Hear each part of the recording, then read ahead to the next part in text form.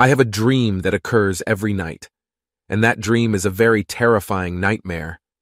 In the dream, I see countless zombies roaming the city.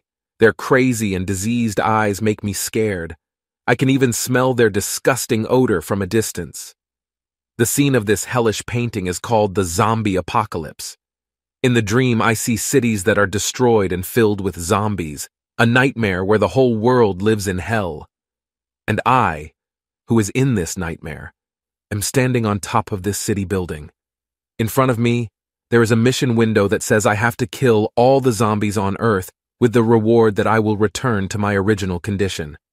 My name is Shin Jirim. I am a hunter who lives to eradicate all zombies. Now, shall we begin? I talk to myself to prepare myself to start fighting. I then press a button on a remote. Shortly after, dozens of bombs that I prepared explode in various places in the city. There is even an explosion that causes a large building to collapse and crush thousands of zombies. I jump off the building with my gun ready to attack the zombies in front of me. The zombies begin to realize my presence and all of them start running towards me. The zombies' roars are heard very loudly. I take a deep breath to prepare myself for the zombie attack. With the swing of my chain whip, I severed the legs of the oncoming zombies and kicked the ones that managed to escape my grasp. I continued to swing my chain whip, crushing the heads of the attacking zombies. Then I heard a roar from behind as a zombie attempted to attack me. I kept swinging my chain whip again and again to destroy these zombies until there were no more approaching zombies in sight. Finally, I stopped swinging the blood-soaked chain whip. I let out a sigh of relief and cursed those zombies. Suddenly, the entire city shook. I didn't understand what was happening. I thought it was just an earthquake. But I was very wrong.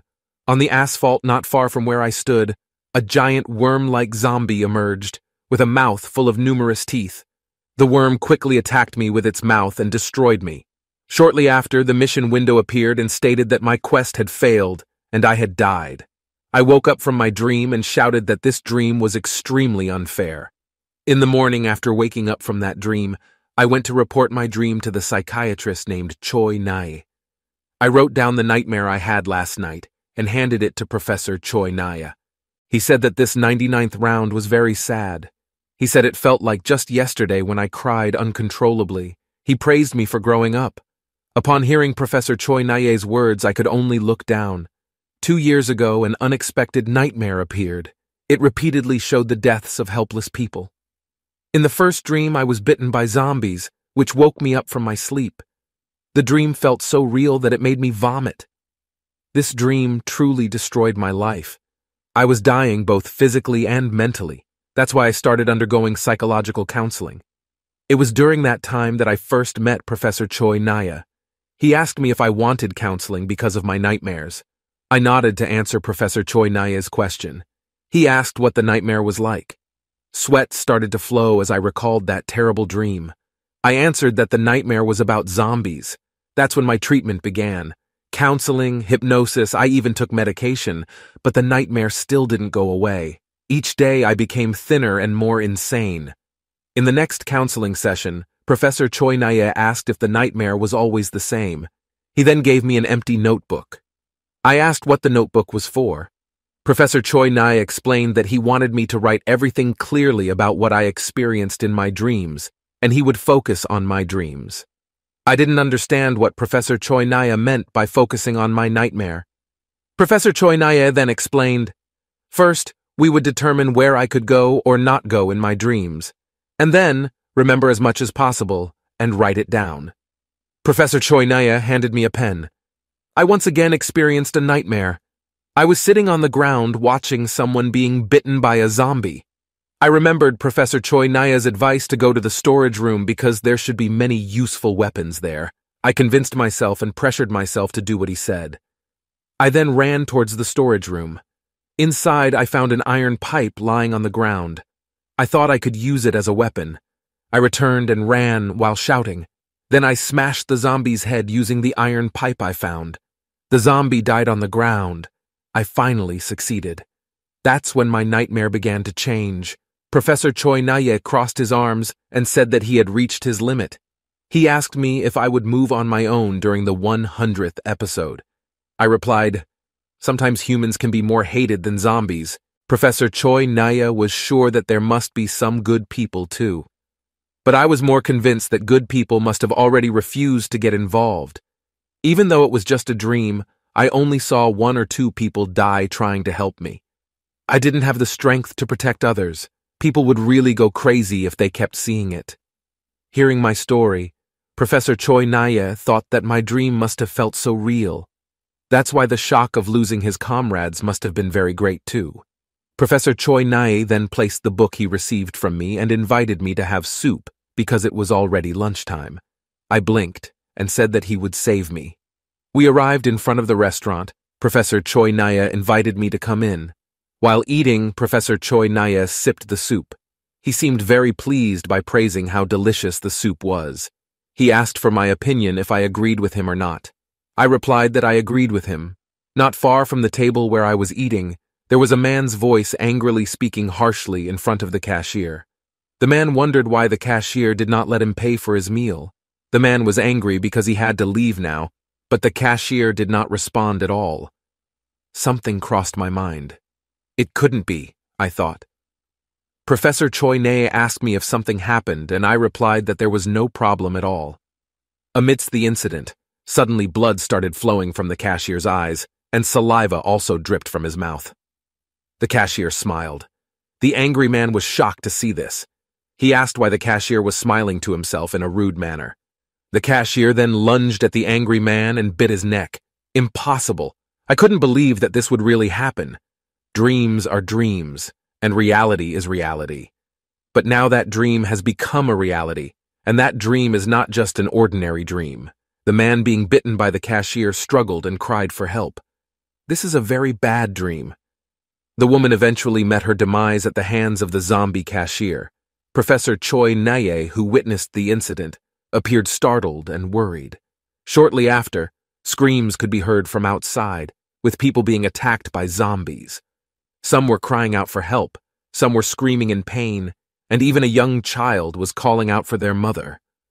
Witnessing this, my hands began to tremble as I clutched my pants. The zombie cashier, having finished devouring the man, now lunged towards me. I grabbed a large bowl and hurled it at the zombie's head. However, it was clear that the bowl was not enough to kill the zombie. I ran to grab a broom that caught my eye, I then took the broom and broke off the head to use as a weapon. The zombie charged at me. It almost caught me, but I dodged to the left. The zombie stumbled and fell, failing to reach me. Seizing the opportunity, I stabbed the zombie's neck with the sharp end of the broom that I had broken earlier. The zombie then stopped moving, indicating that I had successfully killed it. I also thought that maybe I often have nightmares, so when I received this bitter reality, I could think clearly. Professor Choi Naya called me with his trembling voice. I asked if he was okay. Professor Choi Naya told me to put that aside for now, and the fear that I had just killed the cashier. Seeing Professor Choi Naya's very worried face, I asked Professor Choi Naya if he still didn't understand the current situation. I explained to him that the people attacking others right now are walking corpses, in other words, zombies. Professor Choi Naya seemed incredulous. I explained again that what I had written in the notebook had become reality. Professor Choi Naya looked towards the notebook that I had brought earlier.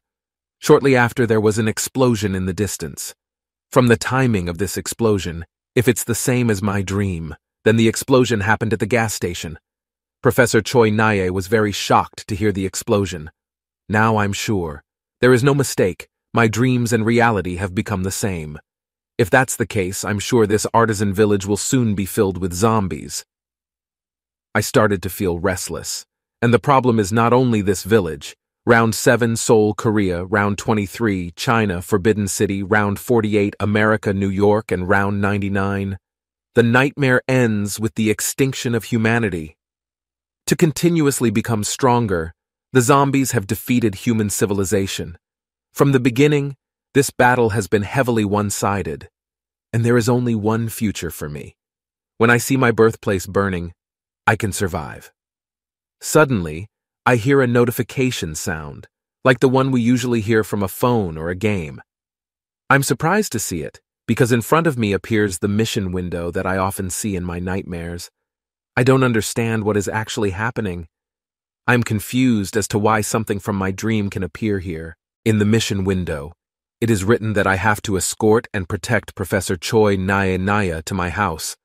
Furthermore, it is stated in the mission window that I have a time limit of three hours to complete it. But what catches my attention is that if I complete this mission, I will receive the skill Transmission as a reward. I have to calm myself down.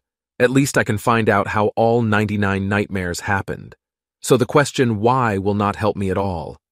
The mission window asks if I want to accept this challenge or not, a mission that I have never completed before. I have a bad feeling about it. But maybe, with this choice, it will change my future filled with despair. Professor Choi Nea asks if I am okay. I answer that I am fine. I remember that only I can see this mission window. Professor Choi Naya, upon hearing my answer, feels grateful. I also remember the figure of Professor Choi Naya who has turned into a zombie, and that is Professor Choi Naya Naya who has turned into a zombie. The front wall of the restaurant suddenly collapsed. The zombies outside began to try to enter the restaurant. I instructed Professor Choi Naya to run. Outside, the streets were filled with zombies. However, luckily, they were not as fast as us. We ran to the storage room where I found an iron pipe in my first nightmare. The two of us managed to enter the storage room and lock the iron door in the hope that the zombies could not enter. We were both out of breath from running away from the zombies. I then approached a cabinet and tried to open it. Professor Choi Naya, who saw me, did not understand and called my name. He was surprised to see me rolling up a chain on my arm to use as a weapon. I told Professor Choi Naya to get ready because we would fight them until we reached my house. Professor Choi Naya, who heard my words, could only be confused. I prepared myself to start fighting. I then unlocked and opened this iron door. The sound of zombie growls could be heard everywhere. The sound of the open iron door caught the attention of the zombies, and they began to run towards me. I started swinging the chain in my hand, then I swung my chain and crushed the head of a zombie. Using the momentum of the chain swing, I swung my chain towards the next zombie and crushed its head. I then ran towards the zombies and shouted.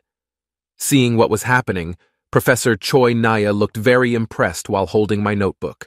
Amidst the crowd of zombies, I, swinging my chain, pondered that perhaps because I had done this in my dreams, I felt that swinging this chain was already very familiar to me. I continued to destroy the zombies using the swing of my chain. Professor Choi Nai, who was impressed by what was happening, was reminded of the past.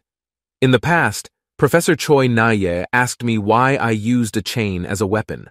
I replied that first, it was because I could easily find it when my dream began. And second, because the attack range and durability were much better than a knife or a stick. Seeing what was happening in front of him, Professor Choi Naya now understood why I chose a chain as a weapon. While I was fighting the zombies, one of the zombies that managed to get close tried to bite me.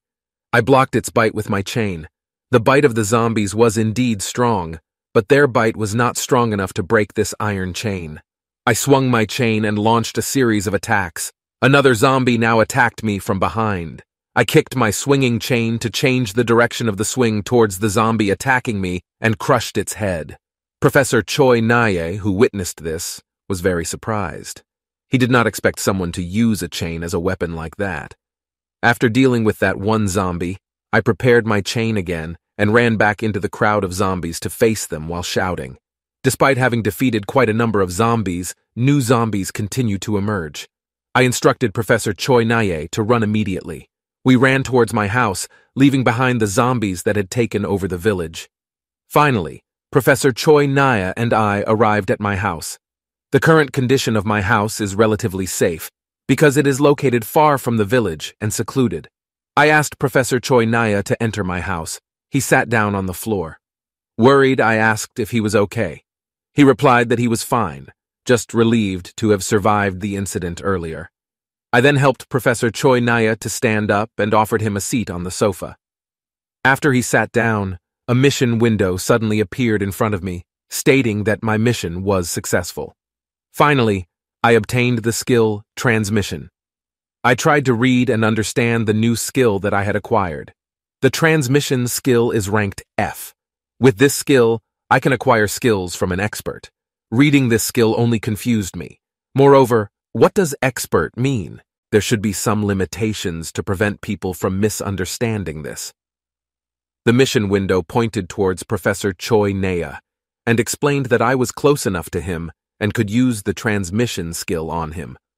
Although I was hesitant, I decided to give it a try. I whispered to activate the transmission skill. Suddenly, a magical circle appeared above and below both of us. I was surprised, but Professor Choi Naya didn't react. It seemed like he couldn't see what I saw. Then a message window appeared congratulating me for acquiring a skill. I checked the new skill I obtained.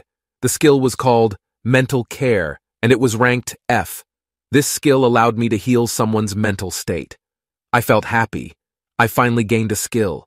Moreover, the skills I acquired were very useful.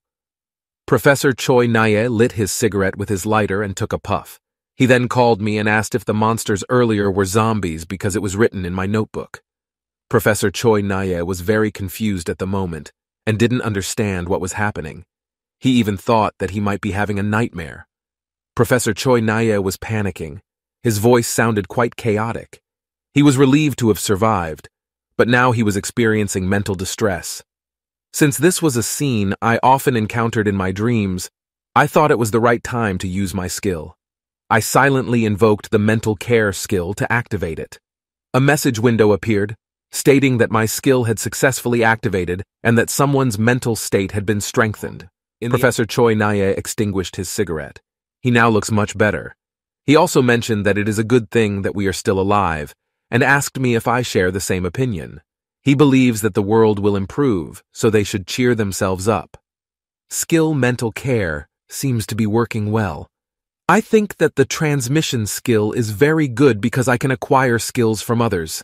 I then realized that the craftsmen living in this village have all kinds of crafts and intangible cultural heritage, and many talented professionals with long life experiences living as villagers.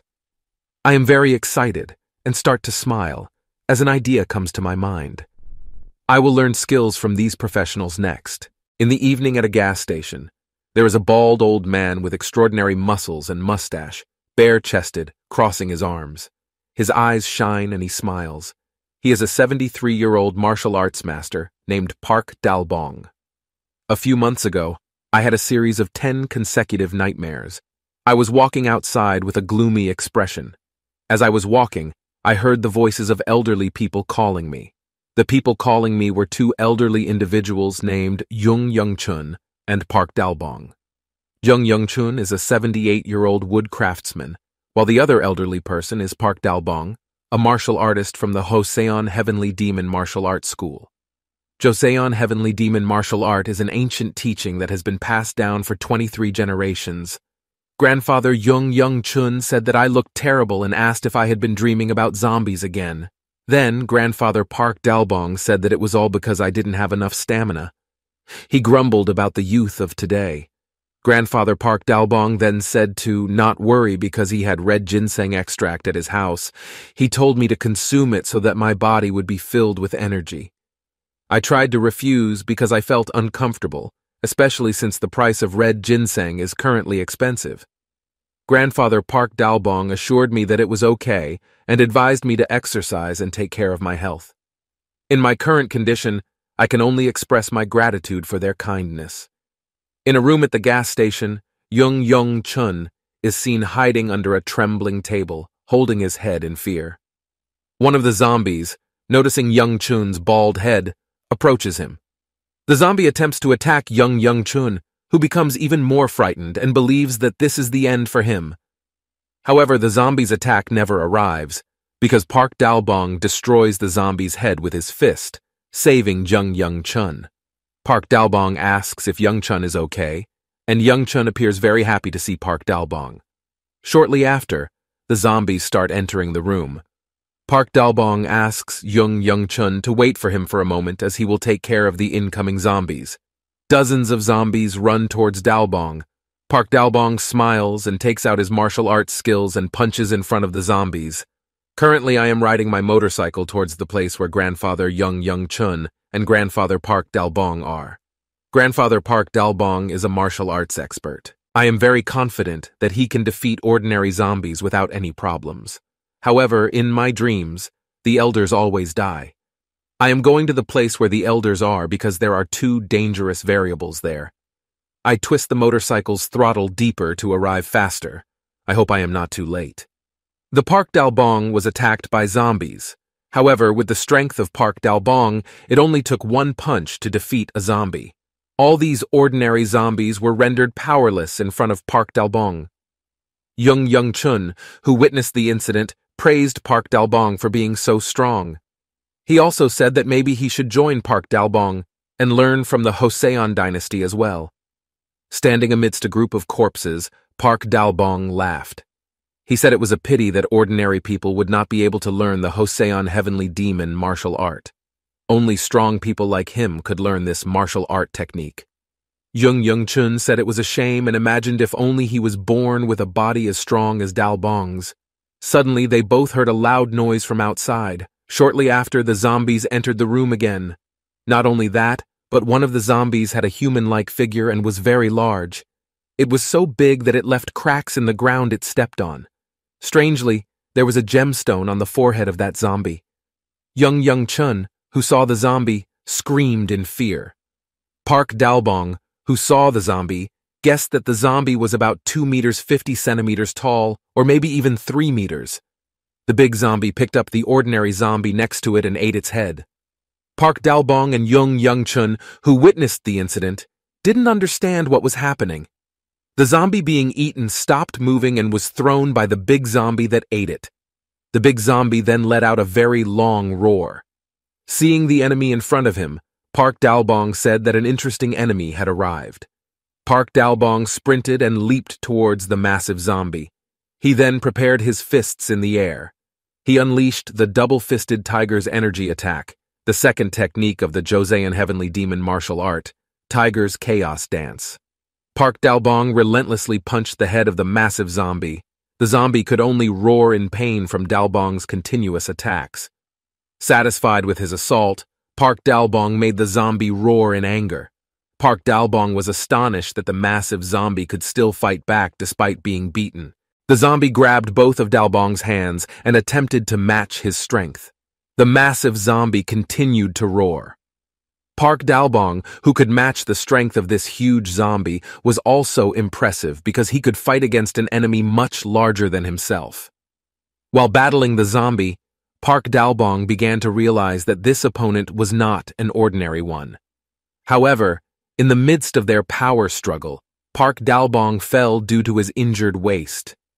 Even someone as strong as him was no match for the effects of aging.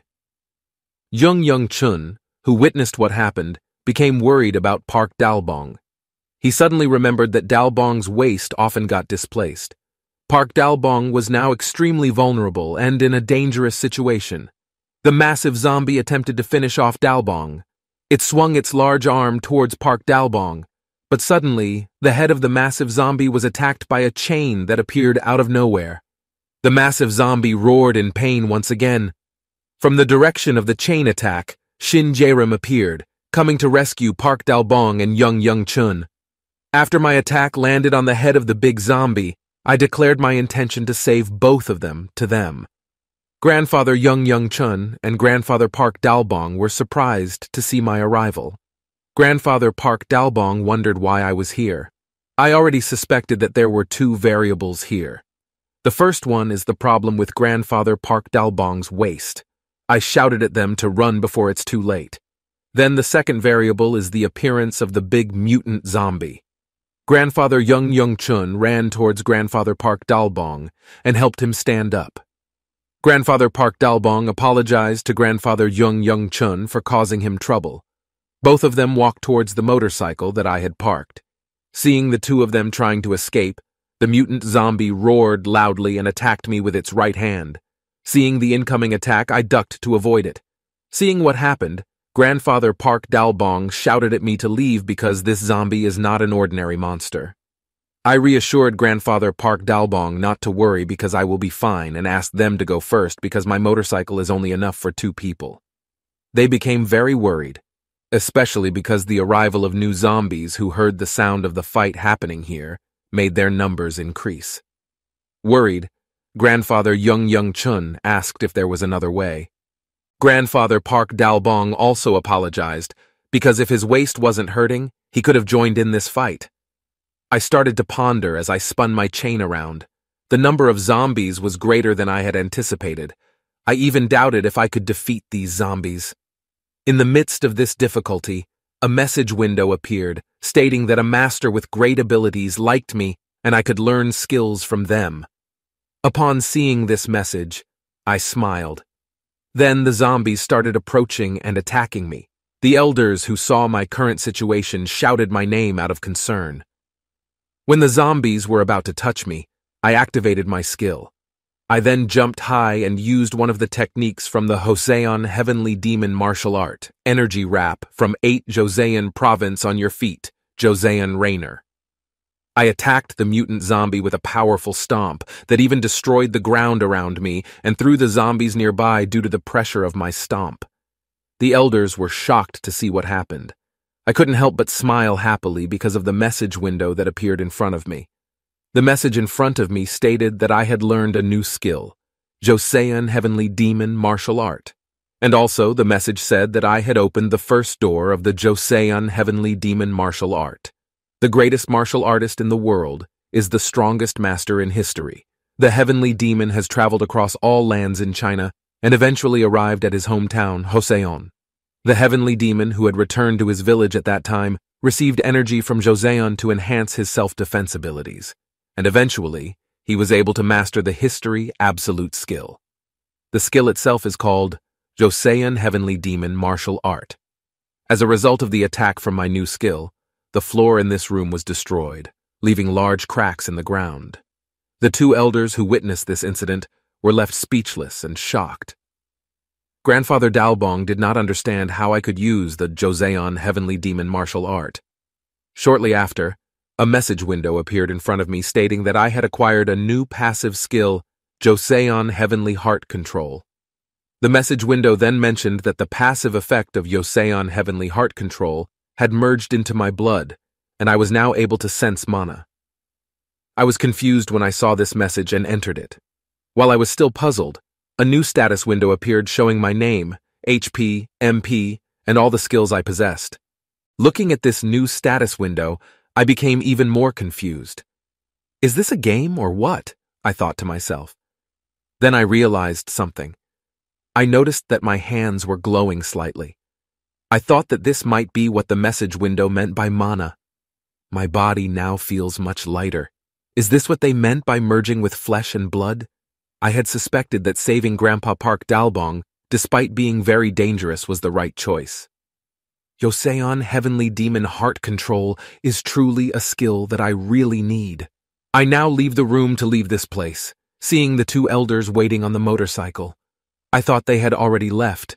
Since I'm done here, I invite them to return together. As I was about to leave, the zombie mutant rose again with its severely damaged body and growled towards me. The zombie mutant turned out to still be alive. It seems that its power in dreams and reality is still the same. In that case, I prepare my chain weapon again. I say to the zombie mutant, maybe we should just finish our fight here. I swing my chain weapon around, ready to fight. The zombie mutant throws a punch towards me. I jump to dodge it. The ground where I was standing before crumbles, leaving a large crack due to the zombie mutant's punch. Both elders who saw it screamed and called my name out of concern. I said that I was fine and asked them to leave first. I continued to say that I would catch up with them. They were very hesitant to leave me. I asked them if they knew where my house was because if they went there, they would meet Professor Choi Naya Naya. Grandfather Jung Young Chun didn't know what else he could say. He cursed in his heart. He also realized that his old body would only hold me back in the fight. Grandfather Jung Young Chun now pulled the motorcycle throttle and started to leave from here. He shouted that I had to come back alive. Seeing them leave, I spun my chain and ran towards the zombie mutant I was facing. The zombie mutant roared. I then swung my chain and attacked the head of the zombie mutant. The zombie mutant that received my attack roared in anger. The zombie mutant then caught my chain and broke my iron chain. I cursed at it for breaking my chain. How dare it break my chain? I then jumped and delivered a knee strike to the face of the zombie mutant. The zombie mutant whimpered in pain while holding its face. I then took my broken chain and rolled the iron chains in my hands. I asked the zombie mutant if it knew the punishment for someone who damages other people's belongings. With a frustrated smile, I called the zombie mutant a bastard and told it to get ready because I was going to beat it up. The zombie mutant, hearing my threat, looked scared. In the evening at Shin Jae-rim's house, Professor Choi Nae is currently smoking in the living room. He exhales the cigarette smoke and mentions Jae-rim's name in his mind because he is anxious. Shortly after, the sound of a motorcycle approaching the house can be heard. Professor Choi Nae, who hears the sound of the motorcycle, stands up from the sofa and runs to greet Jae-rim. He opens the door, and with a happy expression on his face, he assumes that Jae-rim has returned safely, so he calls Jae-rim's name. However, it is not Jae-rim who is riding the motorcycle. Professor Choi Naya is surprised to see Jung Young Chun and Park Dalbong, Jung Young Chun then says that Jae-rim said, if they come to Jae-rim's house, they will meet Professor Choi. Professor Choi Naya is happy to hear that they have met Jae-rim. Professor Choi Naya says that Jae-rim said he wants to save both of them, and immediately ran away. Professor Choi Naya then asks Jung Young Chun and Park Dalbong about Jae-rim's whereabouts. Professor Choi Nae grumbles that he will scold Jae-rim so that he learns his lesson. Jung Young Chun, who opens his mouth to answer Professor Choi Nae's question, closes it because he is unsure about how to answer. After composing himself, he answers that Jae-rim is still in the village. Professor Choi Nae, who hears this, looks confused and doesn't understand what Jung Young Chun is saying. Jung Young Chun continues, saying that Jae-rim insists on saving them, including their parents, and stays there to fight the zombies alone. Hearing Jung Young Chun's story, Professor Choi Naya looks very worried. Using the coiled chain in my hand, I wielded it like a boxing glove and struck the mutant zombie on its left cheek. The zombie mutant was pushed backward. Taking advantage of the current momentum, I delivered a series of punches to its stomach and chest. Continuing to utilize the momentum, I leaped and performed a roundhouse kick to the zombie mutant's chin. The zombie mutant finally fell to the ground. I told the zombie mutant that it made a good punching bag. I was still annoyed because it had damaged my chain. However, thanks to that zombie mutant, I had become accustomed to using mana. The zombie mutant sat there groaning in pain. I then said that as a gesture of gratitude, I would let it go without beating it to a pulp. However, the zombie mutant growled and lunged at me. I gathered all my mana and unleashed it all at once with my punch. With my strong fist attack, the entire middle section of the zombie mutant's body was completely destroyed. The zombie mutant, now split in half and missing its middle section, was finally dead. I finally breathed a sigh of relief. I then noticed that the magic stone on the zombie mutant's forehead had come loose and fallen to the ground. I picked up the magic stone and was puzzled because I didn't know what kind of magic stone it was. Shortly after, a message window suddenly appeared, stating that it was a red magic stone. The message window explained that the magic stone was used to accelerate level advancement, and when used, the user's level would increase. As I read this message window, I could only feel confusion. Inside my house, the sound of the TV can be heard. On the TV, it is currently broadcasting news that the Ministry of National Defense has announced a national disaster. Currently, an unknown large-scale disaster is spreading throughout the country, and everyone is being urged to stay safely at home. Professor Choi Nae, grandfather Jung Young Chun, and grandfather Park Dalbong, who were watching TV, are now feeling anxious. Suddenly, grandfather Park Dalbong feels the presence of someone from outside. From the front door, I ask if there is anyone inside the house and state that I have returned. Seeing everyone here looking safe, I am grateful. However, Professor Choi Nae scolds me and asks what I am worried about, and if I have been bitten by a zombie or not. I try to calm Professor Choi Nae down and say that, of course, I am fine. Suddenly, Grandfather Park Dalbong pats my back and says that he's proud of me for returning safely. Grandfather Yung Jung Chun then praises me for being a good young person because I tried to save these two people. He says that I have worked hard and thanks me. I feel embarrassed and say that it is nothing. Then a message window appears and says that an expert has liked me and I am allowed to inherit their skill. The message window then says that I can inherit the skill Wooden Architecture, F. Seeing that message, I feel happy. I then activate the skill Transmission. As usual, the circle that looks like a magic circle that only I can see appears. And then, a message window appears saying that I have successfully inherited the skill Wooden Architecture, F. The message window also explains that with this skill, I can use mana to build structures or buildings out of wood. Grandfather Park Dalbong now says that he wants to ask me something. He asks how I learned the Heavenly Demon martial arts because he never taught me that martial art before. I replied and said that it is my skill. I now say that I will show them that skill here. Grandfather Park Dalbong, who is listening to me, asks Grandfather Jung Youngchun what I want to show them, and if I just said ski. Grandfather Jung Youngchun says that I just said suki, and asks if Grandfather Park Dalbong is deaf. Skill, huh? He surely doesn't mean the skill from the game, right? Professor Choi Naya thinks. I then activate the skill Wooden Architecture.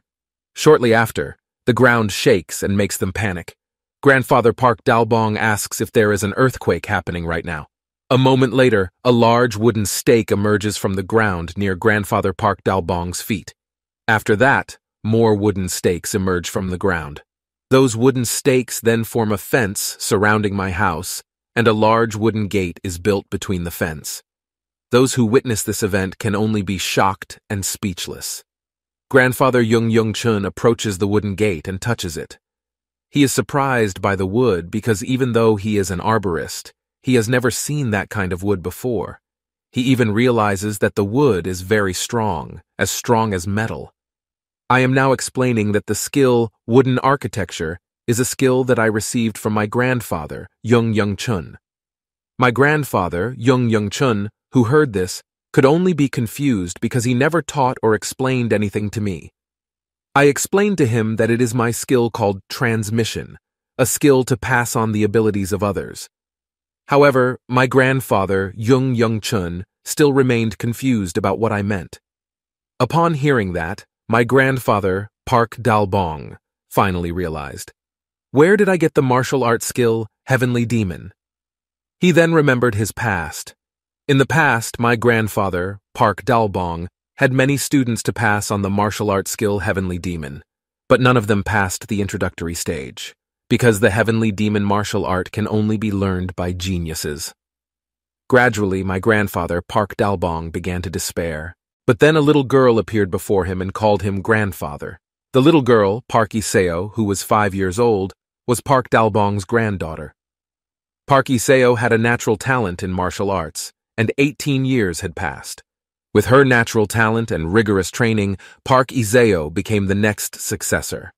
However, the immense destructive power that I showed earlier not only affected Park Iseo, but even my grandfather, Park Dalbong, who is the current successor, couldn't use that power.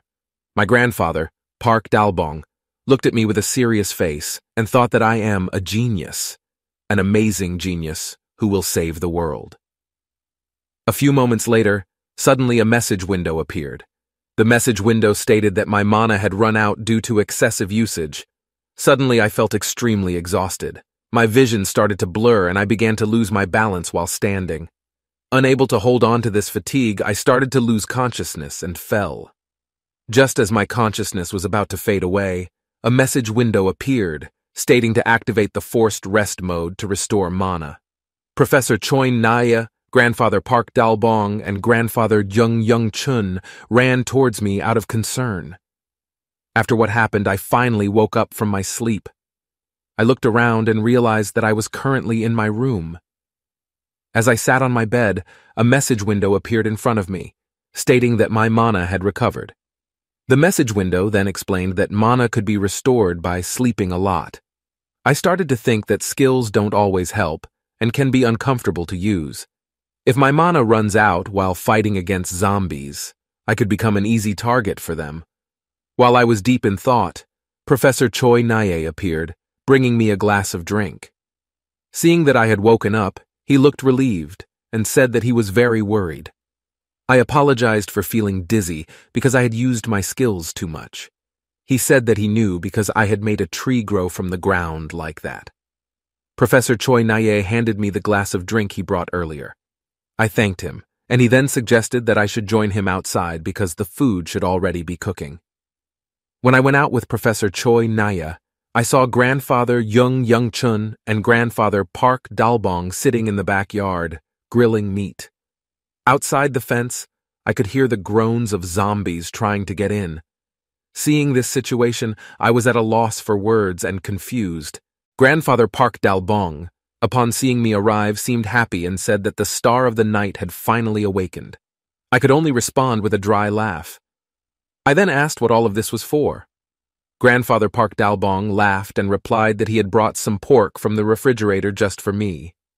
I asked if we were going to eat here because there were many zombies outside, and Grandfather Park Dalbong answered that it was because the outside was very beautiful. Grandfather Jung Young Chun reassured me to just relax and sit with them because the wooden fence surrounding the house was stronger than iron. He then went on to explain that not only zombies, but even if a car crashed into it, there would be no problem. Grandfather Jung Young Chun said that in his lifetime in the real estate world, he had never seen such a perfect barricade. He was very confident that this fence was very strong. Hearing Grandfather Jung Young Chun's explanation, I felt relieved and started sitting with them. But still, having a barbecue party in a situation like this seemed a bit excessive, I said. Before I could finish my sentence, I heard the sound of a can being opened next to me. Professor Choi Naya was seen opening a can of beer next to me. He said that precisely because we were in a situation like this, we should relax a little. He offered me a can of beer. I accepted the can of beer. Professor Choi Naya was surprised that even though a national disaster was happening, they could still barbecue and eat meat. Grandfather Park Dalbong agreed with her and said that the object called ski was amazing. Grandfather Jung Young Chun, who overheard Grandfather Park Dalbong's words, tried to correct him and said that it was not ski, but suki. He then protested to Grandfather Park Dalbong because only he was drinking cola.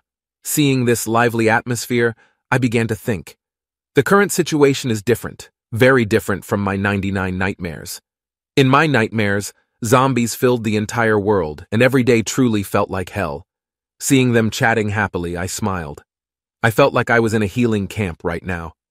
Somewhere, there is a line of soldiers currently showering a horde of attacking zombies. A soldier who appears to be a leader of this team is currently speaking into the radio he is holding. He identifies themselves as the Red Squirrels and asks the team to respond to his call. He then reports that the first line of defense is almost breached and requests for quick reinforcements as a large-scale zombie attack is approaching rapidly. He then reports that the number of zombies is likely more than a thousand, and the target of these zombies is the artisan village. Among the crowd of thousands of zombies, a mutant monster can be seen, resembling a combination of wild animals with giant-sized human body parts. The mutant monster has multiple legs and a large mouth with a big and extremely long tongue. And just like the previous mutant zombies, there is a magic stone attached to the monster's forehead. If these zombies manage to approach the craftsman village, there is no doubt that the village will be in a very big trouble at 7 in the morning. On this bright morning, I, who was sound asleep on the main living room sofa, woke up because a mission window appeared in front of me. The mission window stated that I had completed a hidden mission to rescue three professors on the first night of the incident, and as a reward, I was given the skill Analysis F. I then read the description of the skill. It said that I could use mana to obtain information about a target. I was surprised to find out that I had a hidden mission, and more importantly, I gained a new skill.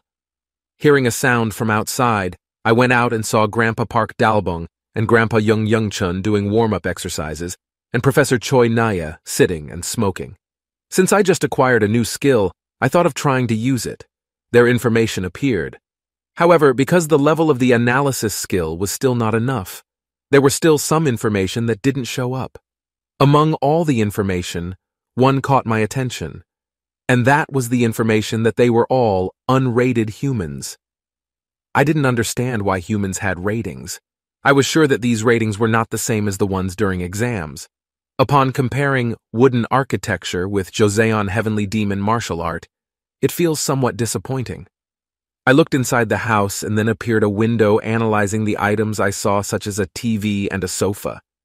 I was surprised because even the items also have ratings. I took out the magic stone that I obtained from the previous mutant zombie. I thought that maybe this magic stone could be used for items as well.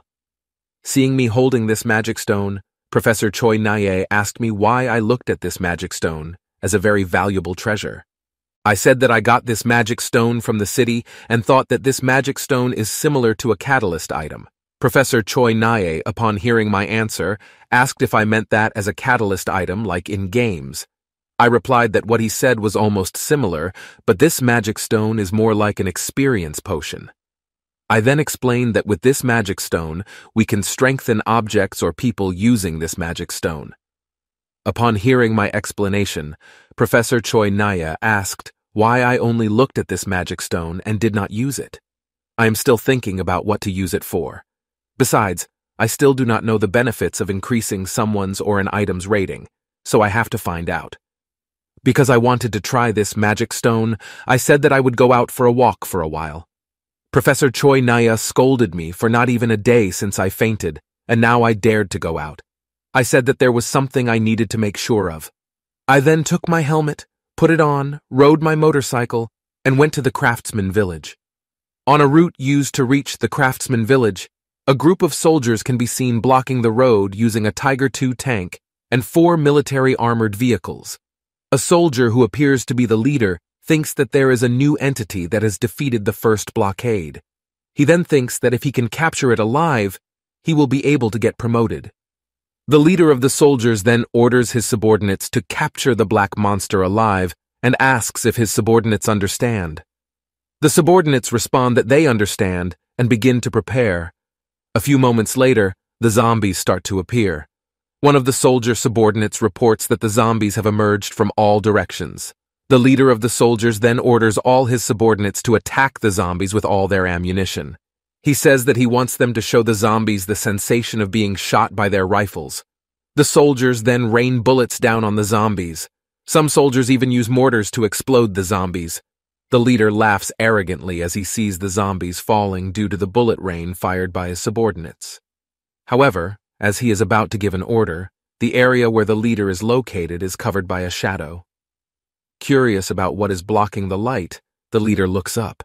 He is shocked to see a mutant zombie, even larger than their armored vehicles, descending from the sky. The mutant zombie has four legs and a very large mouth. The mutant zombie lands on the armored vehicle driven by the leader of the soldiers and kills the leader because he was standing on top of the vehicle. The enraged soldiers opened fire on the mutant zombies with their rifles. Seeing that their bullets were ineffective against the mutants, Someone ordered the tank to aim at the mutants. However, to their surprise, the mutant zombies were incredibly fast. They quickly pushed aside the armored vehicles and the tank as if they were toys. The soldiers couldn't believe what they were witnessing. One soldier suggested that they should quickly protect the second blockade and sacrifice their lives to save others. However, that soldier was struck from behind by a Jerem-like zombie mutant.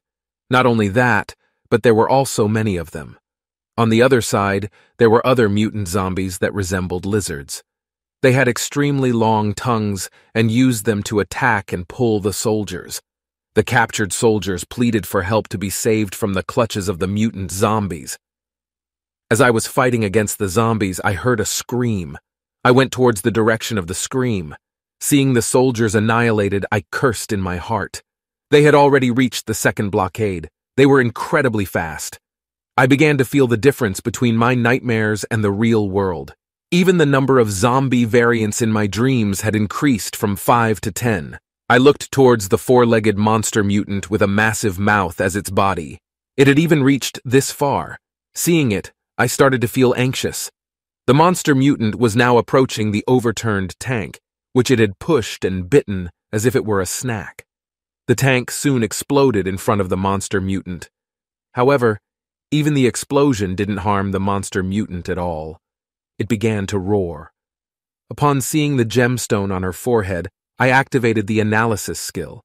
After examining what was written, I concluded that today's rest time had come to an end. I am currently riding my motorcycle on the road. The number of zombies is around 5,000 or more. Josie and Rayner is indeed powerful, but uses too much mana. That's why I have no other choice but to use it. Every summer, the Village of Artisans holds a fireworks festival for tourists.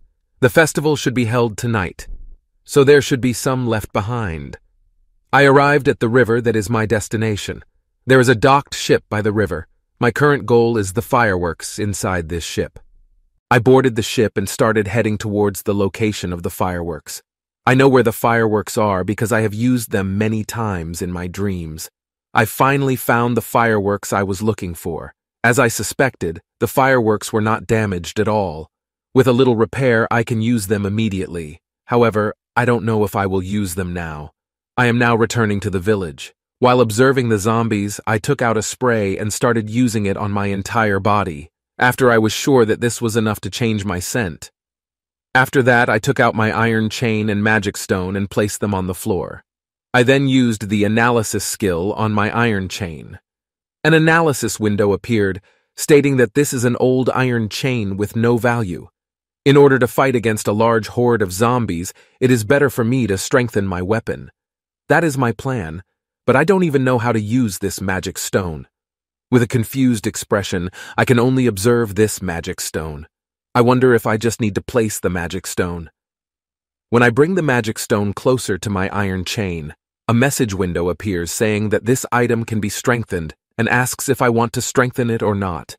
Without hesitation, I choose yes. My iron chain starts to shine. Shortly after, a message window appears saying that the item has been successfully strengthened and my iron chain has transformed.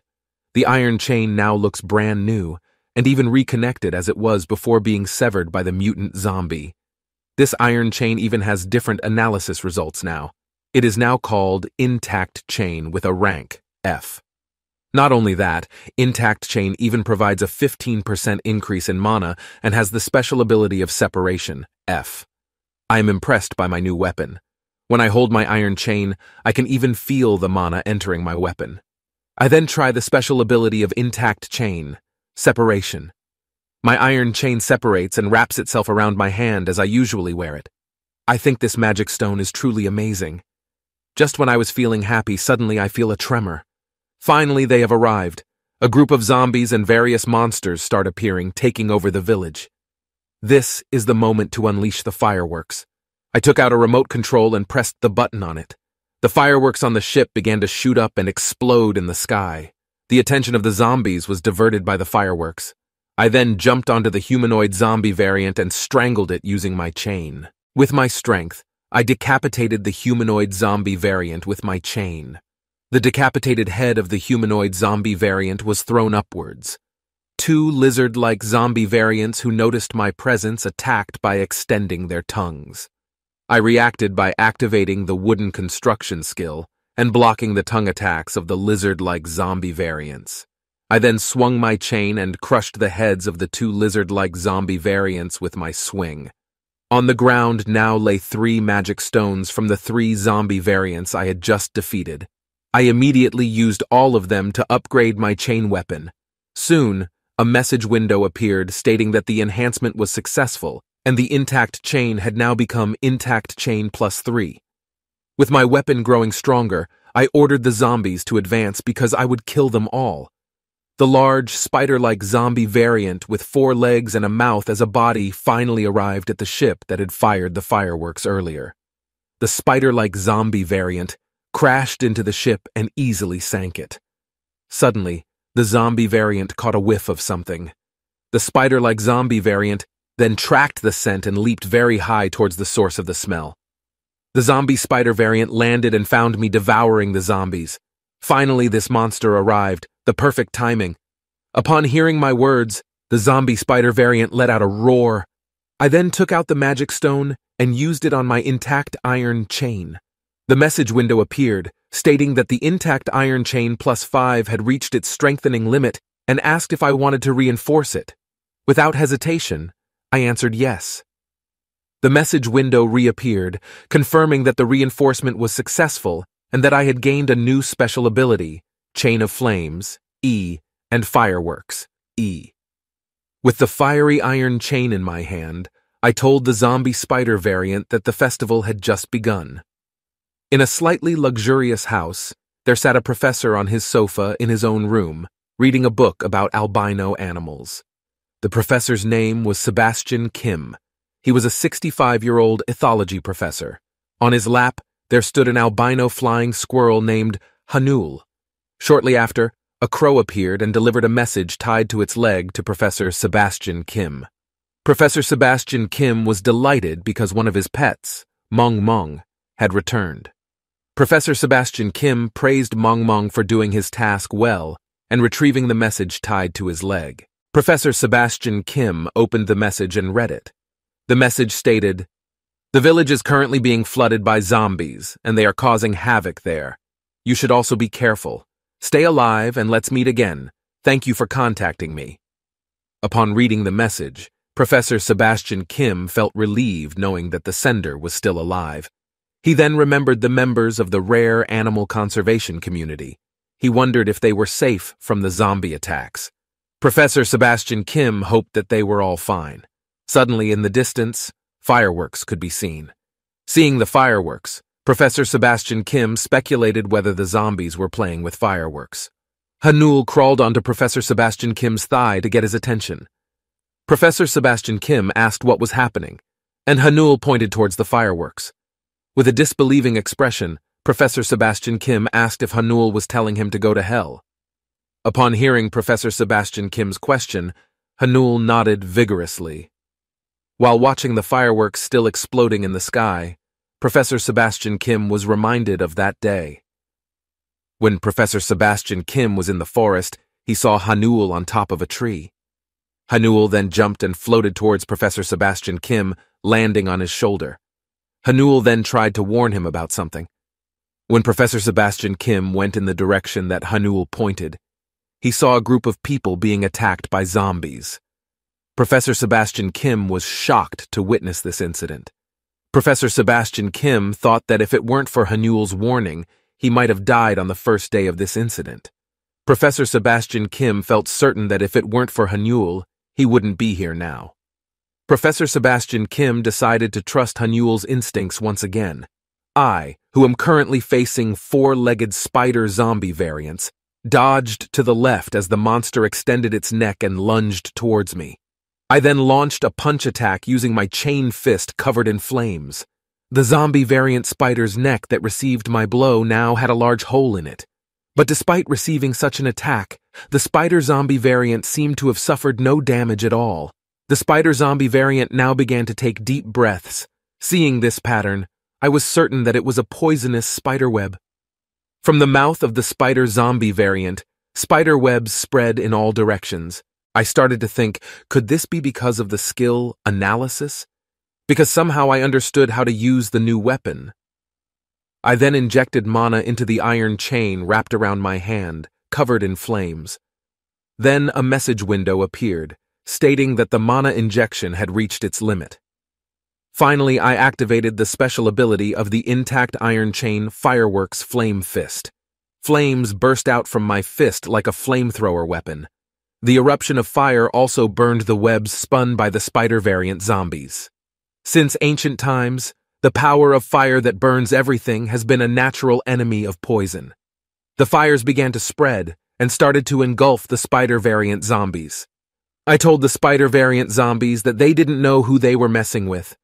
The spider variant zombies roared and groaned in pain. They threw themselves to the ground to extinguish the fire burning their bodies. After the fires were extinguished, the spider variant zombies seemed to want to escape. But before that, they looked in my direction. It might just be my imagination, but I felt like the zombie had just said that they would definitely kill me. The zombie variant growled and called all the zombies around. I said that apparently they still wanted to fight. I then combined my metal chains and spun them around. I told them they could do whatever they wanted because I would play with them. With my current strength, Even just one swing of my metal chain could kill several ordinary zombies attacking me. The spider variant zombie jumped high and landed while trying to step on me, but I dodged by jumping back and threw my metal chain to tie both legs of the spider variant zombie. I pulled the chain and severed both legs of the spider variant zombie. I told them they were nothing to me while cursing them. The spider variant zombie finally howled in pain and eventually collapsed to the ground. Professor Sebastian Kim, who had just arrived in the village, was surprised because he hadn't seen any zombies despite being in the village. Suddenly, there was a loud explosion in the distance.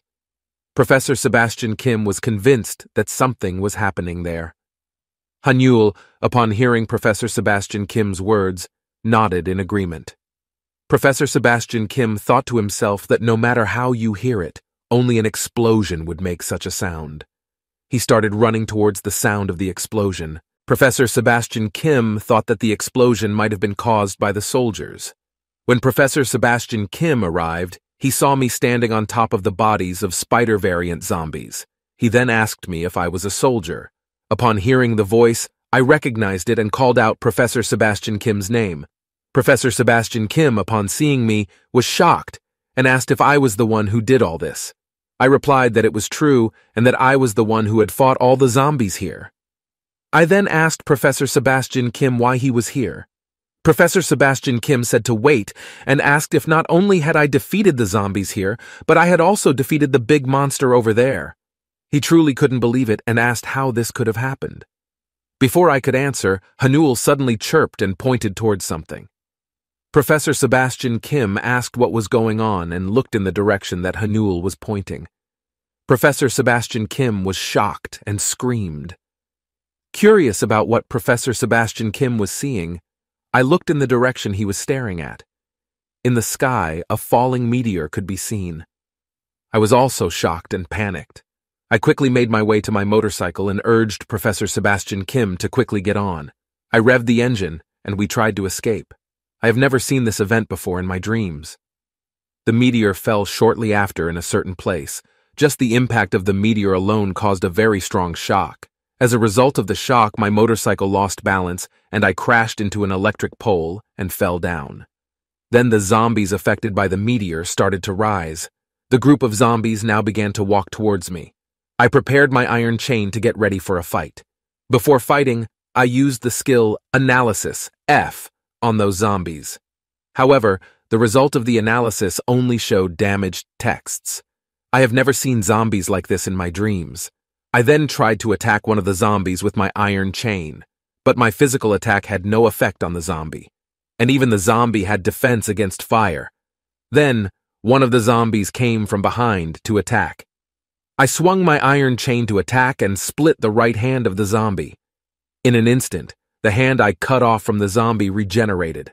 As I suspected, if I attacked them in this purple area, they would continue to regenerate. The zombies started to come towards us. I heard the chirping of Hanul and Professor Sebastian Kim, who had just regained consciousness after the previous accident. Professor Sebastian Kim, who was holding his head in pain, asked what was happening here. Since I have obtained all the magic stones, for now, we should go back. I tried to help Professor Sebastian Kim stand up and said that the current situation is quite serious and we should go to my house first. I carried Professor Sebastian Kim to assist him in walking to my house. After walking quite a distance, we finally arrived at my house. Professor Sebastian Kim, who saw the barricade around my house, asked if I was the one who made this barricade. I replied that it was true and asked if it was good. Professor Sebastian Kim gave me a thumbs up and said that it was fantastic. I then looked at the message window in front of this wooden gate. The message window stated that this wooden construction had a durability of 9, 10. Its durability had decreased and I wondered if it was okay. I tried tapping one of the wooden stakes and felt confident that this barricade was still strong enough. Shortly after, a voice from inside asked if it was me who had arrived. I answered that I had come home. Grandfather Jung Young Chun, Grandfather Park Dalbong, and Professor Choi Naye came out to welcome me. I asked them if they were still on guard duty, and Grandfather Jung Young Chun replied, that they couldn't sleep since the fireworks and the strange green meteor appeared. Before grandfather Jung Young Chun finished his sentence, he saw the person who was with me. He looked happy and asked if it was really Suchan.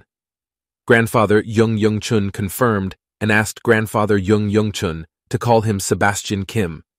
Grandfather Jung Young Chun laughed and said that he was relieved that the naughty child was still alive. In the midst of the conversation, I asked them to save their celebration for later because there was something I wanted to discuss about the green meteor earlier. We are all currently sitting and gathering in the TV room. After listening to my explanation, Professor Choi Naya said that this place has turned into a terrifying place. Grandfather Jung Young Chun is worried about the survivors because he believes their supplies are running low. Professor Sebastian Kim, upon hearing Grandfather Jung Young Chun's concerns, said that there is a solution to it. Grandfather Park Dalbong, upon hearing Professor Sebastian Kim scold him and telling him to use the Korean language, looked surprised because he was scolded. He continued his speech and asked if we remember his crow. Grandfather Park Dalbong, who remembers the crow, said that we can hang food on its feet and deliver it, which is enough for the surviving people to survive. The problem is that the crow is still at Professor Sebastian Kim's house, and it may be surrounded by zombies now. If we save the crow, it will reduce the time needed to save the village craftsman. Grandfather Jung Young Chun asked how we can save it because we cannot fly to avoid the zombies. I thought about trying to break through the zombies, but it would be lucky if I didn't die there. I need another way to break through. There are only four magic stones left after I used them to strengthen my weapon. I don't know how many magic stones are needed to awaken a special expert. This number can at least cover for one person and at most four people. In front of those who are looking for a way out of this problem, I said that I need their help. They are all now paying attention to me. Currently, we are all gathered in the yard of the house. In front of everyone, a message window appears stating that they can awaken by using the magic stone and asking if they want to awaken. Grandfather Park Dalbong looks surprised and asks if he is the only one who can see this writing. Professor Sebastian Kim, who also looks confused, answers that he can't believe it and he can see it too. The others also respond that they can see the same writing.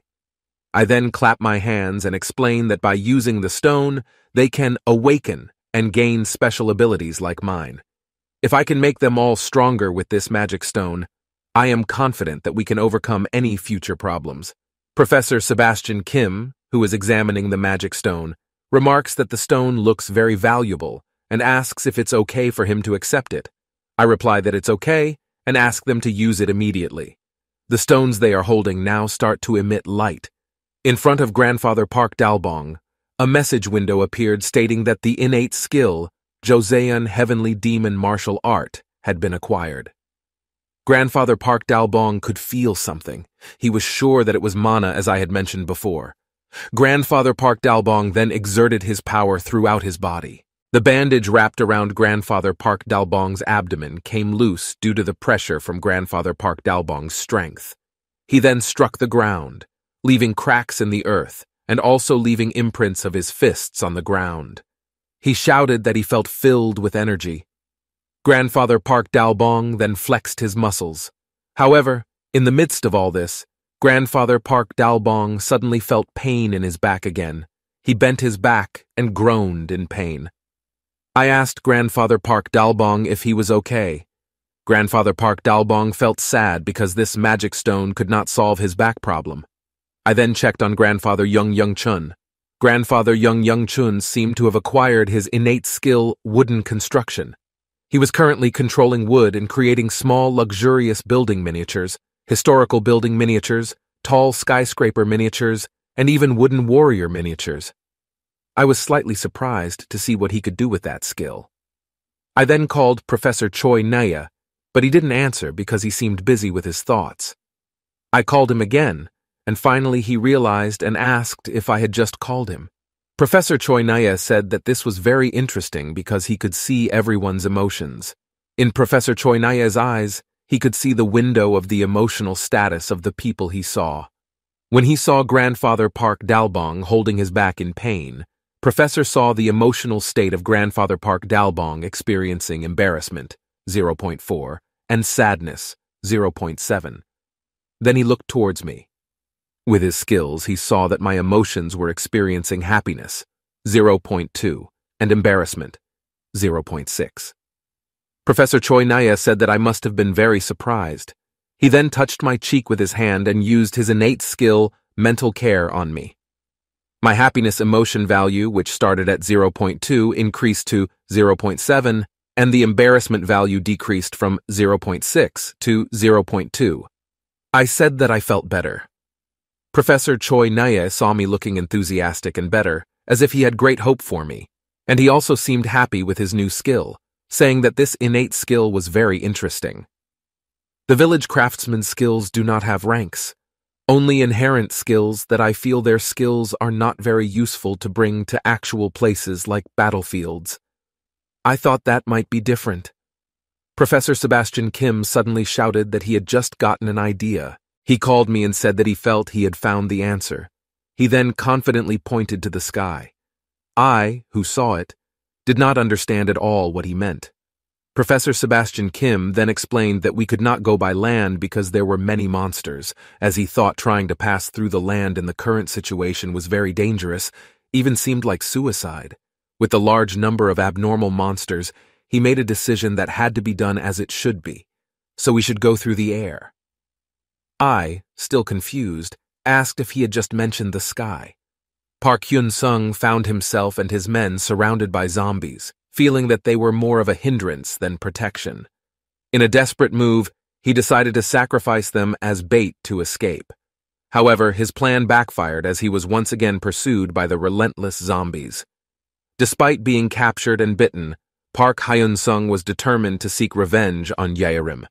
Transforming into a zombie himself, he vowed to fulfill his mission no matter the cost. Meanwhile, Yaerim managed to create a diversion to flee, returning to rescue Sung Hamin, who was still trapped. After freeing him, Sung Hamin, initially wary of Jaerim's intentions, was relieved and grateful for the unexpected rescue. Jaerim, sensing something amiss with Sung Hamin's mana skills, suspected lingering effects of shock and immediately provided mental care. Sung Hamin promptly instructed Jaerim to vacate the premises, warning him that it was a den of murderers. He gestured towards the stack of boxes behind him, revealing that there were already over ten corpses inside. In an attempt to reassure Sung Hamin, Jaerim explained that he was aware of the situation, which was why he had come to help. Jaerim then handed a red crystal stone to Sung Hamin. Upon receiving it, Sung Hamin was taken aback when he realized it was the same red stone owned by the murderer Park Hyun Sung. However, after a moment, he noticed that the stone from Jaerim did not emit the same ominous aura. Jaerim disclosed that he had obtained the stone after defeating a zombie. Sung Hamin reached out for the stone, and as he took it from Yaerim, a quest window appeared, indicating that he could awaken by using the magic stone. Feeling a surge of energy as he held the stone, Sung Hamin was surprised by the concept of awakening. After assisting Sung Hamin to his feet, Yaerim inquired if he had acquired any new skills.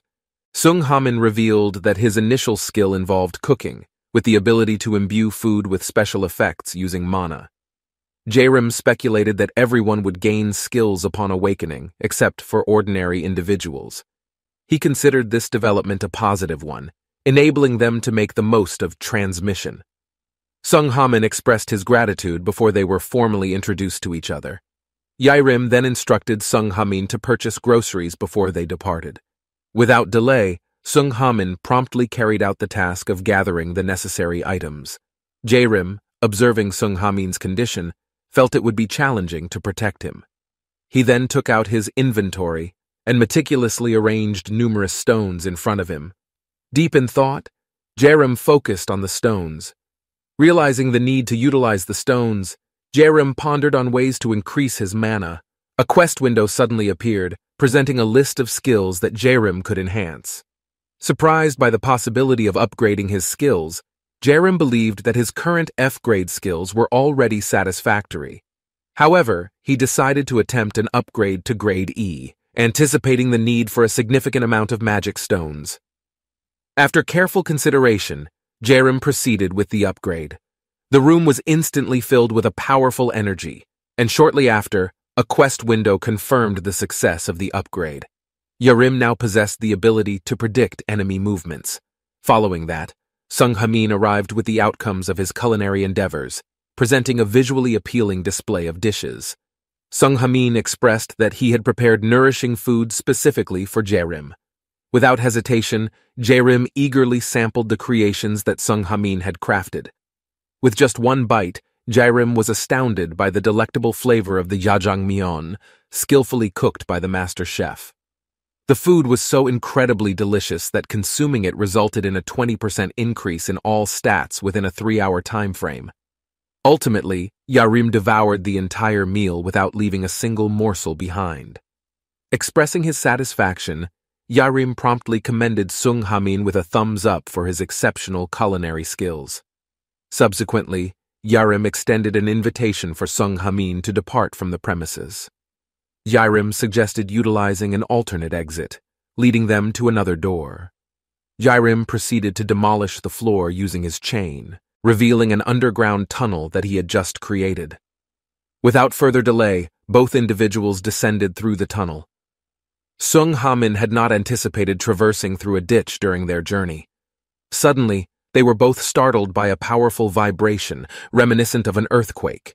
The adjacent wall abruptly cracked, revealing a horrifying figure of a zombie. It was none other than Park Hyun Sung and his two companions, who had transformed into zombies. Jerem was taken aback by this sight and pondered how they had managed to locate them. In an instant, Yerim urgently instructed Sung Hamin to retreat, while he activated his analysis skill to gather information about their enemy. Following that, Yerim employed the mental care skill on Sung Hamin, advising him to return to the mart due to concerns about potential harm from his iron chain.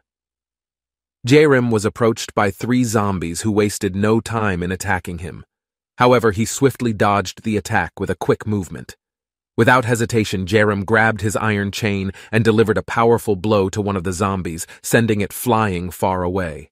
The three zombies tumbled down, causing the wall behind them to collapse. Park Hyun Sung's men found themselves unable to combat Jairim, who possessed superhuman abilities. Realizing that they needed to find a way to defeat Yairim, they attempted a sneak attack from behind. However, Jerim quickly caught on and swiftly retaliated, striking all three of them. Park Hyun Sung was taken aback when Yerim accurately predicted his movements. Frustrated with his incompetent men, Park Hyun Sung mercilessly executed them both. Subsequently, Park Hyun Sung transformed into a terrifying figure with one eye and razor sharp teeth. Utilizing his fear inducing abilities, Park Hyun Sung tried to intimidate Yerim. Jerim, feeling a sense of deja vu, likened the situation to the giving tree. When the fear reached its peak, Jerem unleashed his own fear skill. Park Hyun-sung was shocked by Jerem's countermove and attempted to attack, only to have Yerim dodge and strike back, sending his enemy flying.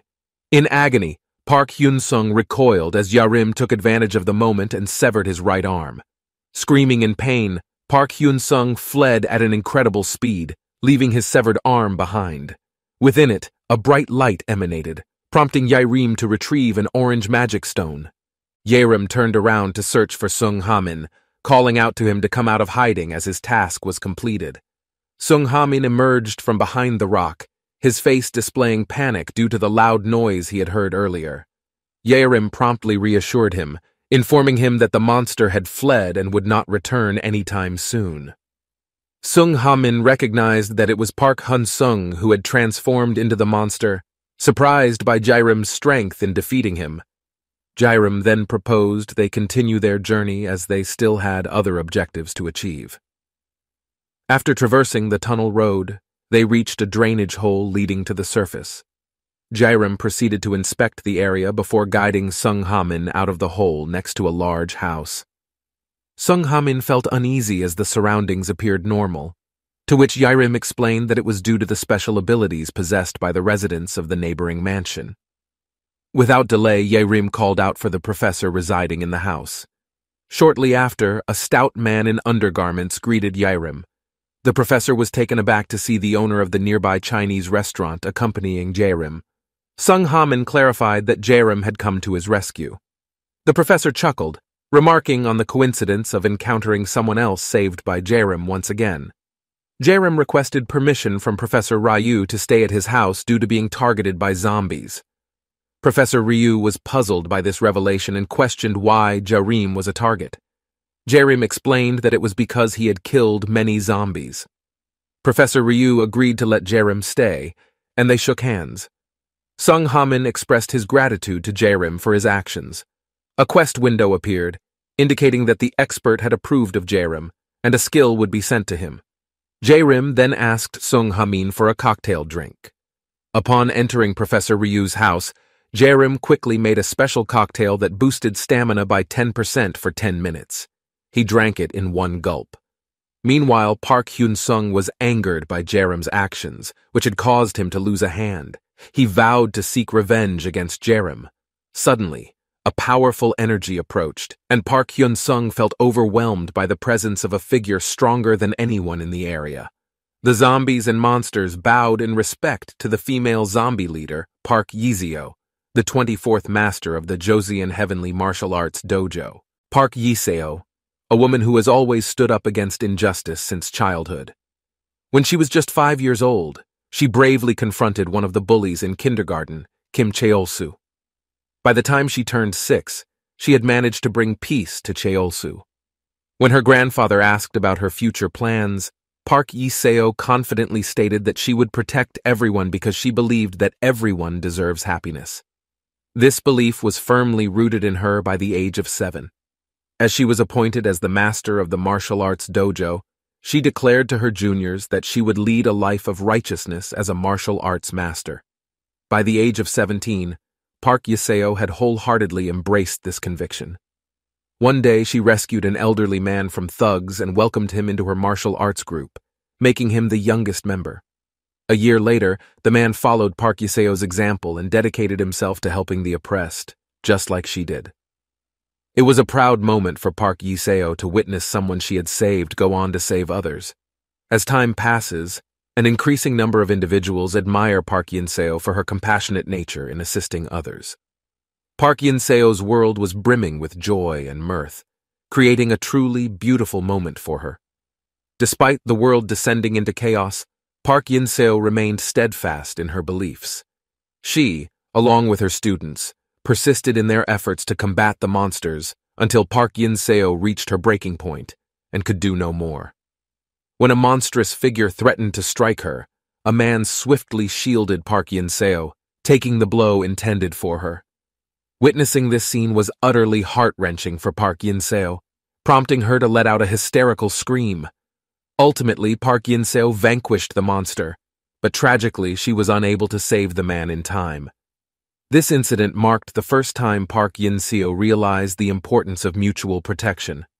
Within the heavenly martial arts dojo temple of Joseon, the residents sheltered by Park Yinseo could be seen.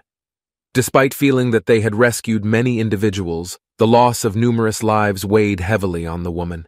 Gazing sadly at the freshly dug graves, Park Yinseo hoped that the departed souls had found peace. During the night, Park Yinseo gazed at the luminous moon above, determined to rid the village of all monsters that night. However, her attention was soon drawn to a peculiar sight, a bright light in the sky that left them all bewildered. Before long, a massive object hurtled towards them, prompting her students to swiftly shield Park Yinseo from the impending danger. There was a massive explosion that could be seen throughout the village. Park Yinseo winced in pain and was shocked to see her colleagues transformed into monsters. Soon after, she felt something strange happening to her body. She screamed loudly as a claw emerged from behind her back and two horns sprouted from her head. A loud voice inside her head urged her to kill. This incident shaped Park Yinseo into what she is today. She is still highly praised, with some even willing to sacrifice themselves to make her perfect. Jerem found himself walking among monsters who suddenly fell silent.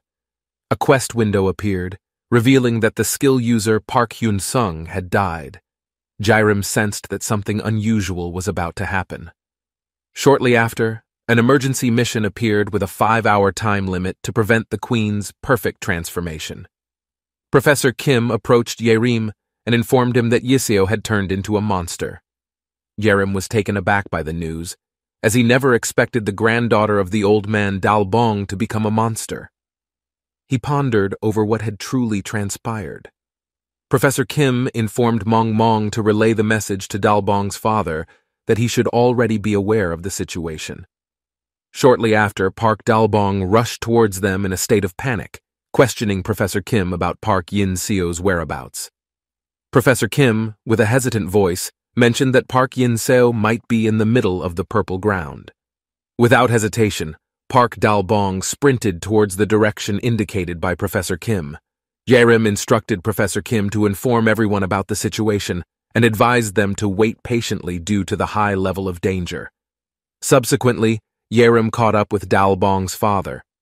Upon arrival, they were astonished to witness a gigantic monster towering over the buildings. Yerim promptly utilized his analysis skill to gather information about the monster, revealing that it was Park Yinseo, the offspring of a queen, absorbing energy through her glands. If she hatched, she would be unable to revert to human form. Jerim urgently suggested to Dalbong's father that they needed to sever the glands to save Yinseo.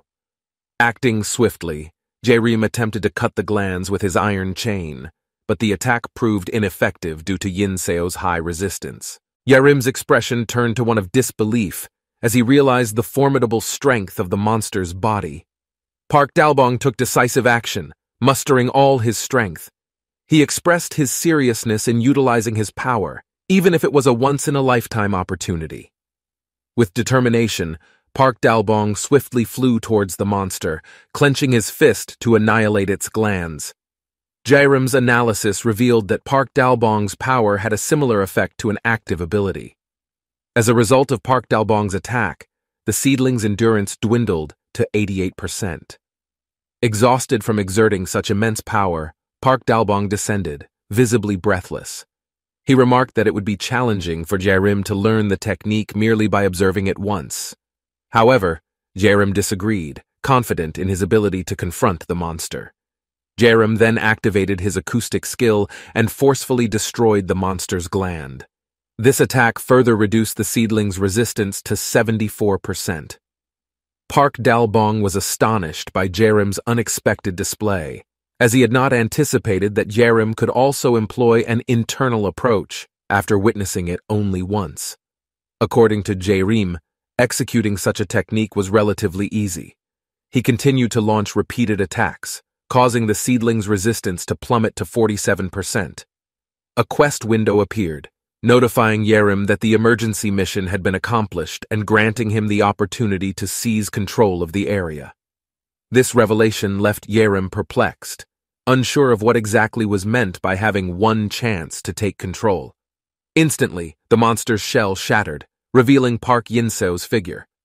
Simultaneously, a quest window popped up indicating that the Queen's transformation had become unstable. Jerem received an emergency mission instructing him to conquer the Queen. Park Yinseo locked eyes with Jerem, and the quest window warned of a high-ranking enemy targeting him. Both individuals appeared visibly alarmed by the situation. Jerem quickly grabbed Dalbong's old man's hand, urging him to run for safety. Concerned that the man would be captured, Jerem instructed Park Dalbong to leave first while he stayed behind to deal with Park Yinseo. Facing Park Yinseo head-on, Jerem promptly activated his prediction skill. He launched an attack with his iron chain and attempted to induce fear, only to have the effect nullified due to the opponent's high rank.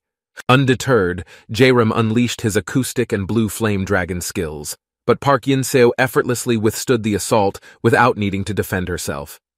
In a swift and powerful counterattack, Park Yinseo landed a punch that sent Jerem flying backward. As Park Yinseo advanced towards him, Jerem used his wooden construction skill to ensnare her in a piece of wood, creating an opportunity for his escape. However, Park Yinseo quickly broke free from the wooden trap and pursued Jerem. Despite the challenging situation, Jerem remained determined to emerge victorious against Park Yinseo. Jerem sprinted towards his comrades who awaited him at the gate. Simultaneously, he swiftly activated the Proclamation Area skill, asserting control over the designated area.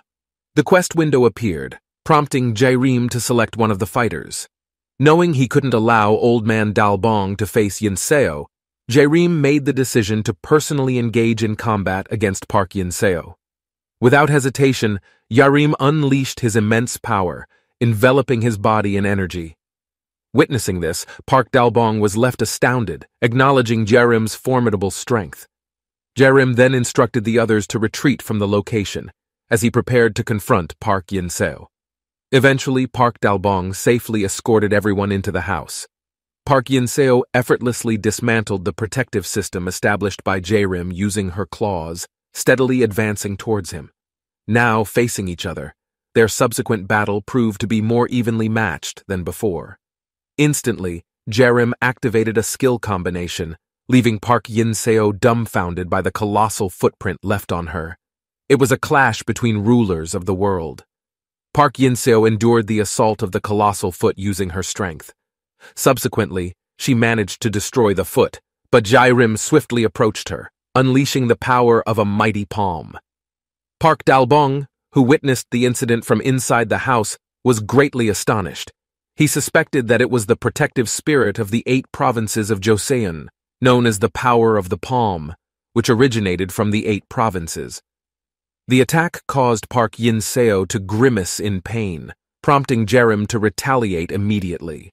This time, he utilized his iron chain and unleashed the second form of the Joseon Heavenly Demon martial arts, known as the Chaos Dance Tiger. As a result of the attack, Park Yiseo was forcefully thrown deep into the forest. Jairim stood proudly, believing that he had defeated Park Yiseo. However, shortly after, Park Yiseo emerged from the forest and approached Jairim slowly. Instantly, she emitted a powerful energy from her body. Intrigued, Jairim activated his analysis skill to gather information about the woman. He discovered that she possessed a nucleus with a durability level of 88%. If defeated, the queen's figure would also vanish. With swift movements, Park Yiseo launched an attack with her feet. However, Jairim's response was equally swift, allowing him to evade the attack successfully. Jairim was surprised to learn that Park Yiseo also possessed martial arts skills. Just as Park Yiseo attempted to attack him again, Jairim seized one of her legs and brought her down to the ground. This caused the resistance of the nucleus to decrease to 77%. Upon Jairim's attempt to strike her, Mr. Yiseo vanished from her spot. She executed a swift and nimble maneuver that surpassed Jairim's own speed. Subsequently, they engaged in combat, resulting in their bodies being flung in opposite directions. Meanwhile, Park Dalbong, observing their skirmish, sensed the need to intervene, fearing the potential dangers of such a fierce confrontation. With divine martial arts bestowed upon him by the heavens, Park Dalbong was once a conceited martial artist fixated on his own prowess. His arrogance led him to disregard the importance of respecting others. As the 23rd master of the Joseon celestial demon martial art, a national cultural treasure, Park Dalbong's son, Park Sun-hyun, displayed no interest in martial arts, much to his father's disdain. This lack of passion infuriated Park Dalbong, causing him to view his son as insignificant and unworthy. When his son eventually ran away from home, leaving behind a note expressing regret for not living up to his father's expectations. Park Dalbong was left to ponder the situation. Despite his initial resolve to move on, news of Park Sun-hyun's untimely passing reached him through visitors, prompting him to rush to the funeral home. Upon his arrival, he encountered a young girl mourning her deceased parents. The young girl promptly referred to Park Dalbong as her grandfather.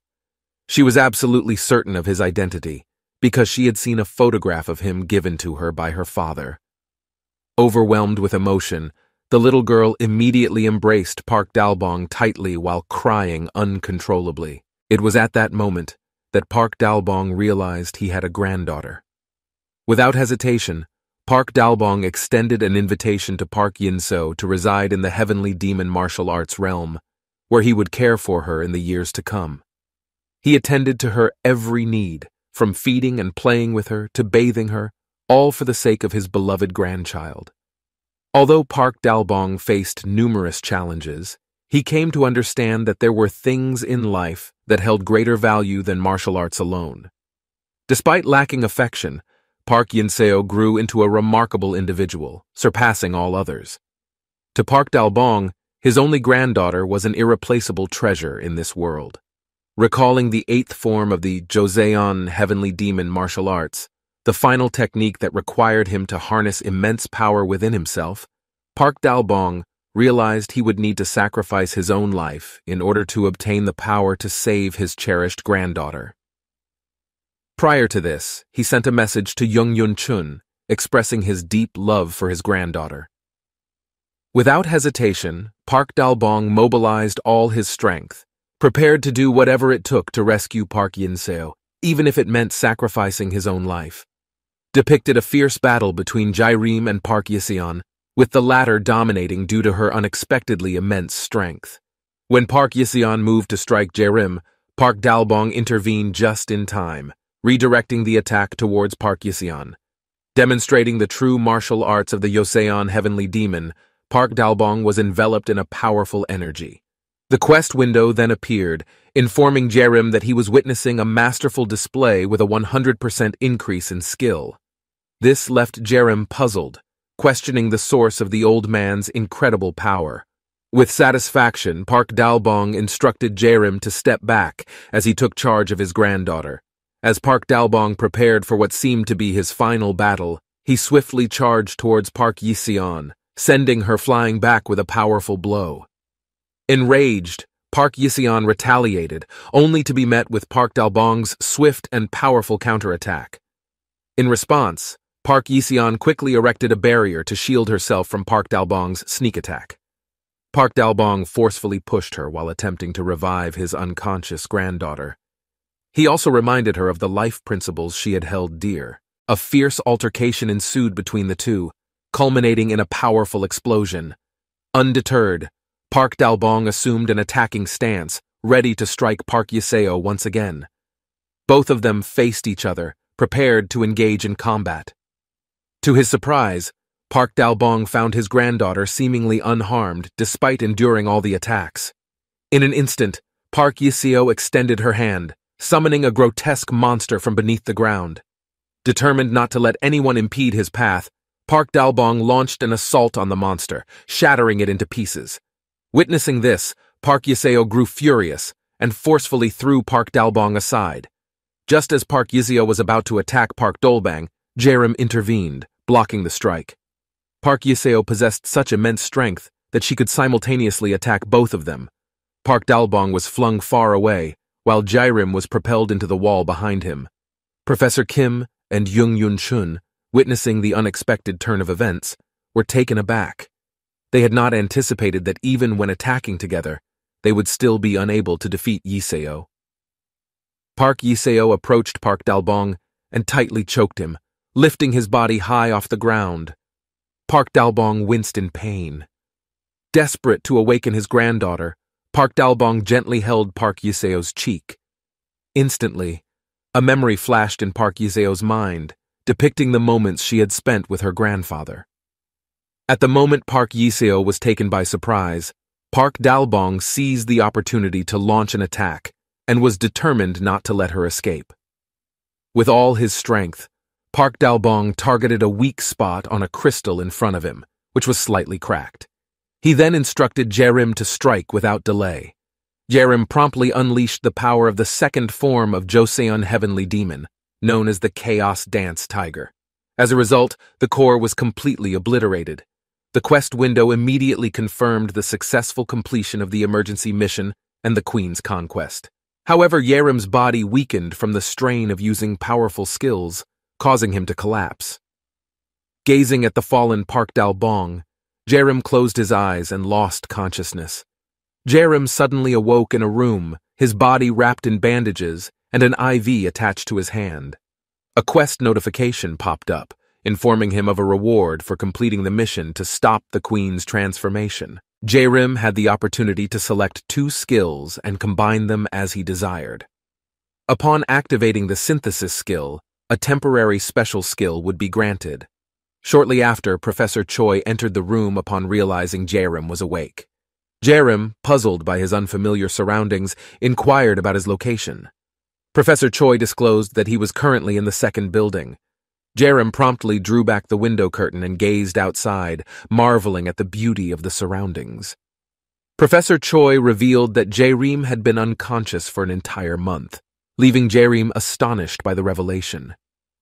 To ease his concerns, Professor Choi directed his attention to the catheter beside him and promptly summoned a doctor for further evaluation.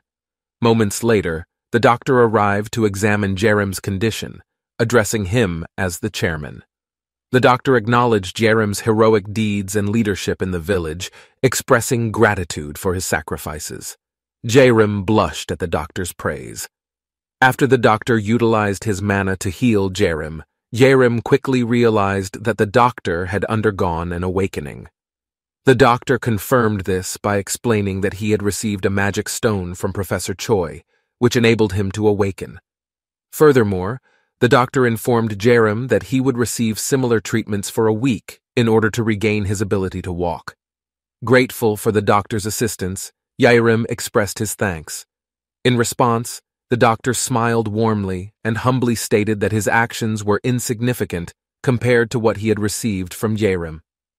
Without delay, the quest window notified Jerem that the expert had favored him, allowing for the transfer of skills. Jerem promptly activated the transmission skill, and the quest window informed him that the synthesis skill had been activated, enabling him to temporarily combine medicine and acoustics into a skill called Healing Sound. Instantly, Yerim felt a surge of energy in his hand, which represented the healing sound skill, and he immediately infused it into his body. Jerem sensed that this skill had the potential to invigorate his body. The quest window confirmed that his physical condition was rapidly improving. Consequently, Jerem removed the IV tube from his hand and rose from the bed. Witnessing this, the doctor became panicked, as he believed Jerem was still unable to walk. However, Jerem defied expectations and assured them that he had indeed recovered. Professor Choi gestured towards the massive ball and explained that it represented Yiseo's mind. Jerem promptly activated his analysis skill. The window quest informed him that the barrier surrounding Park Yiseo's mind was remarkably resilient, despite its outward appearance as a simple knot. Professor Choi had previously attempted to enter but was unsuccessful due to the formidable nature of the barrier. Professor Choi emphasized the importance of saving his memories before destroying him. Jirim decided to try something and activated the mental pressure, causing a crack in the mind wall. Without hesitation, Jerem entered the small hole that appeared. In Park Yiseo's mind, a man blamed her for his death, along with others attacking and accusing her. Park Dalbong, her grandfather, also appeared in her mind, blaming his granddaughter. Feeling overwhelmed by the situation, Park Yiseo thought she might go crazy. However, Yairim suddenly appeared in her mind, offering help. Began with Jairim greeting Park Yiseo, who appeared visibly exhausted. This made Jairim wonder how long she had been trapped in such a place. Jairim reassured her that he was there to help and extended an invitation for Park Yiseo to escape from this situation. However, as they attempted to leave, they were suddenly restrained by the others who immediately blamed Park Yiseo. In response, Jarim quickly activated his analysis skill, which revealed that they were traumatized by Park Yiseo and believed they couldn't escape. The quest window confirmed that they would continuously appear, trapped in this state. Jairim promptly reminded Park Yiseo that the blame did not lie with her. He offered his assistance and tried to convince her that they were not the individuals from her memory. Park Yiseo stared intently at their faces and gradually began to recall that her troops were once skilled martial artists. She realized that her fear had transformed them into monsters. Without hesitation, Jairim activated his mental care skill and bestowed it upon Park Yiseo. Park Yiseo slowly approached her men and humbly bowed before them, expressing her apologies. Suddenly she attacked their monstrous forms, but they swiftly returned to their original selves. They expressed their gratitude to their master, conveying their joy in being able to spend time with her. Her students assured her that they would always remain in her memory and encouraged her to continue living her life. Gradually, they vanished from Park Yiseo's presence. Park Yiseo's eyes widened as she flipped through the pages of the book Professor Choi had given her. The information inside was shocking and made her heart race. She realized that Yerim had been keeping a secret from her all this time. Park Yiseo felt a mix of emotions confusion, betrayal, and anger. She knew she had to confront Yerim about this revelation, but she also feared what his response would be. As she looked up from the book, determination set in her eyes. She was ready to uncover the truth and face whatever consequences it may bring. Meanwhile, Jerim sat alone on a bench in the park, contemplating his surroundings. Professor Choi approached him without hesitation. Jerim expressed his surprise at the seemingly happier faces of the people here. Professor Choi explained that it was because they had escaped from a hellish existence and could now live a normal life. The conversation then shifted to the topic of magic stones. Professor Choi believed that they needed more of these stones as they had the power to strengthen objects and awaken people. Remembering Jerem's previous mention of the stones being similar to XP potions, Professor Choi enhanced the generator machine, making it highly efficient. Motivated by this, Jerem wasted no time and set out to explore the area, determined to collect as many magic stones as possible. Park Yiseo joined him, confident in her ability to kill zombies. Jerem agreed and borrowed a motorcycle from Professor Choi. With Jerem riding at high speed and Park Yiseo tightly holding onto him, they encountered a group of monsters blocking their path. Fearlessly, Park Yiseo took on the monsters alone, using her impressive martial arts skills to defeat them swiftly. She collected the magic stones scattered among the defeated zombies and handed them to Jerim. Continuing their journey, they stumbled upon a shop with a graffiti depicting a shield symbol on the wall. Jerim couldn't believe they had come this far. In a green and beautiful place, a bald-headed man named Young Chun was doing something on the wall. With both hands, he pressed his hands against the wall and smoke came out as if the power of the blue color appeared. He is still trying to do this. He opened his mouth to see someone who was wide-eyed. Blue power still appears and spreads in the wooden wall area. Suddenly, green plants slowly appeared due to this power. The plant that appeared was not just one, but there were quite a lot. He was still directing his two hands that had blue light. After a few minutes, the construction was finally completed. It was a great relief to be able to finish everything well, although it must drain quite a lot of energy to be expended. Instantly, he became shocked when he took a breath and saw towards the back there was Jerim and a muscular man named Dalbong, like they wanted to fight. He was very surprised and shouted loudly. Young Chun got sick of seeing Jerim and Dalbong doing this. They were like people who had nothing to do at all. Yerim really wanted to be able to control his leg movements this time, but unfortunately, he seemed to have difficulty doing so. This is not an easy thing, it requires special training to really be able to do it perfectly. Jerim will keep trying to do this move. Jerim's two feet were already surrounded by the power of the blue-colored light that appeared. Jerim with his hand movement still near his cheek like someone who wants to punch. Meanwhile, Dalbong always shows off his muscles and big body. Dalbong has released his strength. He can't wait to start all this. There is no need to delay for a long time. All over the body, the muscular man is covered in blue light as a sign that his strength is well regulated. Dalbong uses the second formation of Joseon Heavenly Demon martial arts. Where this power is, there is a ferocious tiger figure who controls it. The battle that the two will do is very fierce. Jerim remains in his position and does not want to let his guard down in this case. He will remain on guard and should not be fooled by the opponent in front. Jerim was worried about himself. If he let his guard down, he would fall and lose to Dalbong. Jerim will not just give up. Dalbong has made an attack on Jerim so that he fell to the ground. Dalbong is very eager to excel in this battle. He will attack again because he sees Jerim still not getting up from his fall. Jerim was shocked confused to see conditions like this. Then he would do a quick way to avoid the deadly attack. The attack given can be faster. Dalbong is very happy to be able to attack Jerem once with all his heart. This will open up opportunities for Dalbong to be able to show off his strength. If he wins, he will definitely be very arrogant to Jerem and the others. Moreover, Dalbong's face when fighting is very scary.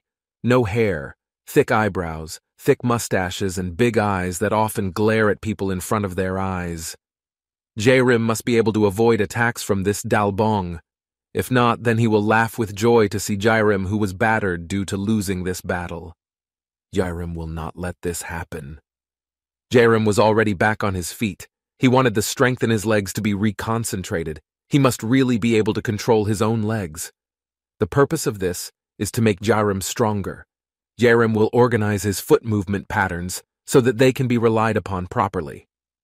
Jerem is a man who never wants to give up under any circumstances. Jerem is still training the strength of his legs so he can beat the Dalbong in front of him. Before starting to attack, they are still getting ready and scaring each other. Dalbong can no longer wait to attack Jerem because earlier it was delayed due to Jerem practicing his leg movements. The fight is getting very fierce. Jaerim is sure this time he will give a blow to the Dalbong. Attack after attack is given by both. With all his might, Jaerim will continue to advance and attack Dalbong. Jaerim did not want to lose in this fierce battle. They are still not tired at all. Continuing to attack is exciting but tiring for both of them because it drains the energy in the body. With ferocity, Jaerim drove into Dalbong's direction using his feet. His foot almost hit the face of the muscular man, but unfortunately Dalbong managed to avoid Jaerim's foot that wanted to hit his face. Dalbong was very upset how could Jaerim jump and make a movement to attack his face. Dalbong is increasingly challenged to defeat Jaerim in these conditions. Dalbong immediately said Jaerim was a very clever bastard. Dalbong will do more sadistic things. He immediately replied to the actions taken by Jaerim. With ease, Dalbong immediately pulled one of Jaerim's legs so that it could not move. He deliberately did this so that slowly Jaerim could lose and Dalbong won. He laughed because he managed to hold Jaerim's leg. Indeed, his students should be given lessons like this. Dalbong asked Jaerim to do it somewhere else. This will be a very exciting thing as well as testing whose strength is stronger. When Dalbong and Jaerim were fighting, Professor Kim came from the air along with his animals. He landed and approached Dalbong and Jaerim. After arriving and setting foot on the ground, Professor Kim informed that now the time had come. After the last two days, many things had happened, and it was very tiring. Jaerim immediately stopped the fight and looked at Professor Kim for his conversation. Jaerim was thinking about something that had passed. At that time, Jaerim and the muscular man were training. Dalbong said about the movement to control the legs. Jaerim, as a young man, has learned a lot. One of the things he learned was heavenly demon martial arts from Elder Dalbong, there is a notification about an expert's favorability towards Jaerim has been renewed. While the skill transition was successful, namely animal communication at rank F. Even not only that was obtained by Jaerim, he has gotten a new skill from Professor Kim. Jaerim was very happy and felt very lucky to be able to get all of this. Even Professor Kim's animals immediately approached Jaerim. He immediately wrapped the animal with power like a ball wrapped in blue light. Notification was also obtained that Jaerim had communicated with Haneul. Then the result will receive special abilities. Special abilities have been given to Jaerim as the recipient. The next day, Jaerim was eating a chocolate snack and Professor Kim was there. He invited Professor Kim to go. Jaerim reminded Professor Kim to make movements with what had been studied before. He didn't want to deviate or anything. Jerem wanted to be really careful in this matter. Don't let there be a mistake that can cancel everything. Professor Kim immediately agreed to whatever order Jerem wanted. He will activate the wooden construction skill. Under Jerem and Professor Kim was the ground. They rose above the wooden beam, slowly getting higher and higher. The size is very high, like a tower, and defeats the tall buildings around it. Jaerim and Professor Kim are above the altitude. They can see the area below. The bright sunlight was immediately hot and glaring. Jaerim covered his face with his hands. The height of the structure had already reached its limit, so it could no longer be raised. Jaerim was very happy to be able to do this. Even though it used a lot of mana, it was already a great help in Jaerim's important plan. Professor Kim looked at the building in front of him and monitored his house there. The cityscape was very worrying. Not a single person appeared due to this strange disaster. In Jaerim's hand there was a chain that supported him. He invited Professor Kim to go there immediately. They descend in altitude together, the special ability will be turned on. The three of them wear wingsuit, wing-like power to fly in the air. By using this, it will be safe to arrive at the destination or above the tall building. The land under the Jerem was already occupied, so it was quite a relief. But there was no one occupying the building. Professor Kim was shocked to see the city in this condition. He didn't think that this would happen and make everyone unable to get out in this situation. Jerem was also very concerned about the situation below. Besides, there are no people in this city. But there were zombies roaming around, and it was very scary. The bodies of these zombies are very pathetic with a variety of unfortunate conditions. The thing that makes Jerem feel surprised when he sees zombies seem to have no interest in the bodies of humans. He wondered what had really happened. These zombies kept walking until they made the city dirty. Jerem wanted to know what the zombies were doing there. It looked like a large carcass and was surrounded by several zombies. The place was dark and very creepy, a truly disgusting and alarming situation. The huge carcasses had been swarming with liquid clots and were moving to cover the victims who had become zombies. Jerem was still in the air with a bad feeling about this. The large, dead, human-bodied carcass was immediately able to revive due to a mutation. He woke up with an even creepier figure. This will definitely create new problems because it has revived other creatures. Dealing with normal zombies already feels very difficult. Moreover, facing extraordinary zombies, then this will be a big threat. The business this time was with zombies who had mutated and then came back to life. Yerim would never have thought that there was a stalker too, this is a very serious condition. But now, Yerim will focus on his main goal first, so that everything can be completed properly. Jerim will immediately land in a place that is safe from the zombie outbreak, when landing on a small ornamental tree growing in a pot. Professor Kim was very happy that there was a crow that landed there. The number was not just one, but more than five. Professor Kim immediately welcomed the crows with excitement the crow cawed when the yellow hare came near its perch. The crow immediately approached and headed towards Professor Kim. There was something unexpected that happened, namely that Professor Kim immediately had crow wings. Jerem was shocked to see the change in Professor Kim. Jerem wanted to know what happened. Professor Kim said this was his new power that had emerged. Professor Kim was very excited to be able to use the new crow wings. He immediately tried it in the air. While in the air, Professor Kim asked Jerim to hurry back to his house right now. Jerim saw Professor Kim flying with the new wings. He said Professor Kim seemed a little stingy and didn't want to fly together. Jerim, who was on the rooftop, immediately flew using the wingsuit. The crows surrounded Professor Kim and Jerim. The creepy zombies below saw Professor Kim, Jerim, and the crows. They were very disturbed and wanted to eat them. The zombies flocked to catch the one above the air. The zombies below released strands into the air. This made Professor Kim and Jerem panic. They attacked this zombie outbreak can rise into the air. Professor Kim and Jerem become trapped and will fall if they cannot avoid this attack. The conditions they were in were very tense. Jerem tried to avoid this with his power. Jerem will utilize the chain in his hand to avoid this dangerous zombie plague. This bad situation will be overcome by Jerem. He asked Professor Kim to go first in order to be safe from this sudden attack. The thing Jerim will do is bait these zombies. After everything is done, then he will follow Professor Kim.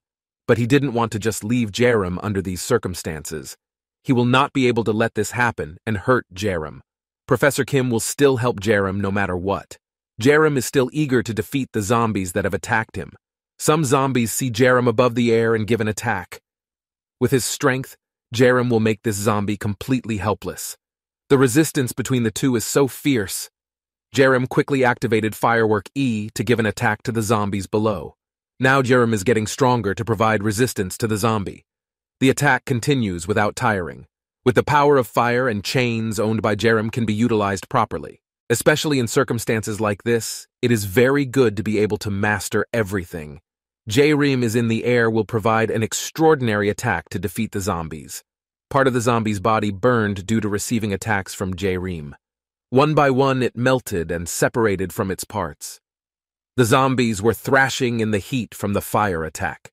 The faces of the zombies were so terrible and seemed to be screaming in pain. Monitoring from the air, Jerem saw that there were still zombies alive and looking towards him. It's time for Jerem to react again to defeat the zombies. Jerem will go down and be near the many zombies. They immediately thrashed, wanting to prey on Jerem, who was there. The atmosphere became very tense because these zombies were very dangerous if Jerem was not careful. Jerem used his strength to attack once. Instantly, the ferocious zombie immediately lay helpless. After all, the zombies did not move. Behind Jerem is a large zombie figure like a mutated monster. He came up behind Jerem and wanted to attack. Jerem was immediately wary of this. If not, then he will be attacked. This large zombie figure had previously been defeated by Jerem until his body was split. Now it has mutated and can rise again to destroy all of this. Jerem immediately took cautionary action. He immediately rose into the air using chains and used his firepower. Jerem will not let this big zombie kill him. With all his might, Jerem will continue to fight until everything is resolved. Suddenly, the zombie that didn't move immediately woke up. They come from behind Jerem and will head towards him. Zombies woke up in large numbers.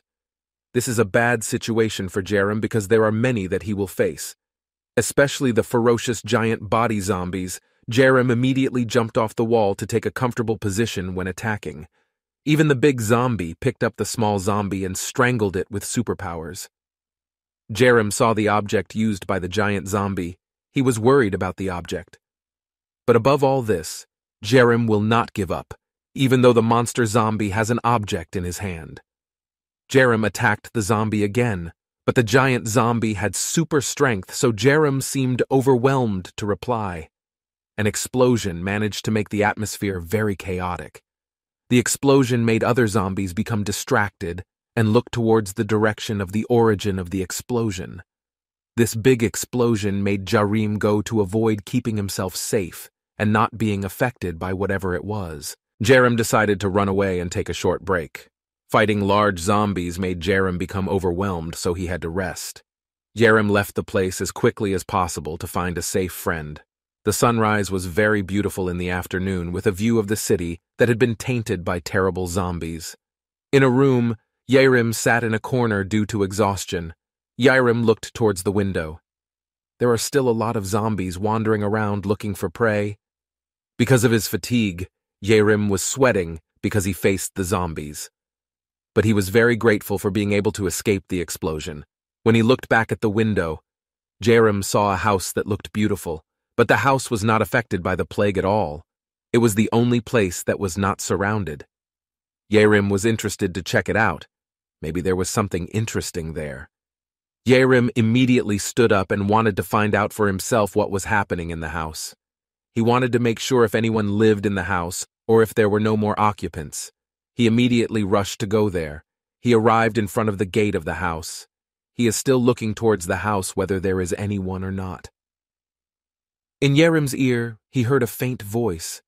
He had a bad feeling that the source of this sound came from this area. When looking up at the house, Jerem saw a man standing. He looked with observant eyes and made sure it was a human, not a zombie. The male human who was above was only wearing a white singlet shirt, and his body was fat. Jerem saw that the man above his house was very anxious. He must be very scared in a situation like this. From the front gate, Jerem immediately activated his skill, namely mental care. Then Jerem said, Excuse me first to the owner of the house. Jerem asked permission to speak briefly with him. The man above immediately replied. The man said whether Jerem wanted to meet other survivors before he asked Jerem whether he had food or not. Jerem, who cares about others, immediately takes out his food and will give it to the man. While Jerem was still outside the fence of the man's house and he went straight into his house. Jerem was invited to sit there. Previously, the man introduced his name was Ryu Dongtak. He used to be an acoustic professor. Ryu's age is currently entering the age of 56 years. Ryu continued to ask the identity of Jerem because he did not know him at all. Jerem also introduced himself to Ryu. Since being around this house, Jerem has been disturbed because he hears voices constantly. Ryu was surprised that Jerem could hear the sound. As far as Ryu knew, the sound could not be heard by ordinary humans. Jerem was also confused if the sound he heard could not be heard by humans. According to Ryu's knowledge, the sound heard by Jairim is a low frequency that he installed himself. That is why around here is not surrounded by zombie monsters. Moreover, out there are already many buildings affected by the zombie plague is very deadly. Ryu made all this so that his house could remain safe from the dangers and disturbances of terrible zombies. Ryu explained the answer with a smile to J-Rim. If J-Rim wants, Ryu will give the sound recording file that he made. That way J-Rim can use it at home too. J-Rim immediately fell silent hearing Ryu offer this disturbing sound. Professor Kim has turned into a crow's wing. Dalbong sees the new skill he has. Dalbong immediately smiles happily at the latest crow's wing, but he didn't see Jerem's existence earlier. Though Dalbong really wants to meet Jerem, the beginning was indeed since earlier Jaram left with Professor Kim. When zombies came to attack Jerem and Professor Kim from the air, Jerem tries to save Professor Kim from a very dangerous zombie attack. Jerem insisted on being able to save Professor Kim. He immediately told him to leave and would catch up later after everything was done. After the crow disappeared, Professor Kim returned to explain that Jerem fell into the place where the zombies swarmed. Professor Kim conveyed this with a haggard face and full of anxiety. Hearing about this, Dalbong was very panicked and emotional. If it is true that Jerem fell into a group of zombies, this will be very dangerous and threaten his life. Dalbong did not accept if Jairim fell in and was trapped by the deadly hell. He really regretted that this could happen so easily. Dalbong immediately shouted at Professor Kim, who conveyed the info. Dalbong was so emotional that he questioned what the use of the latest crow's wings was. If it couldn't do anything, it was a lie. Dalbong still holds Professor Kim's shoulder. He explained that the atmosphere was very chaotic because the zombie body could stretch into the air. That's why Jarim told Professor Kim to leave as soon as possible. They grabbed each other because Jarim was threatened. Young Chun asked Dalbong and Professor Kim what happened. Dalbong, who is still emotional, tells Yairim's current situation. Yairim alone has been trapped in the sea of zombie hell. This is very dangerous. Plus, there is no one to help Jerem in that place. Professor Kim immediately sat down and felt very guilty for the actions he took. On the other hand, Dalbong gallantly said he would leave immediately. Young Chun, who is behind, thinks that Dalbong has lost his own mind. Whereas previously Dalbong said the place was very scary like hell, Still, he was very excited to go there. Dalbong has a high ambition. He will beat using only his bare hands.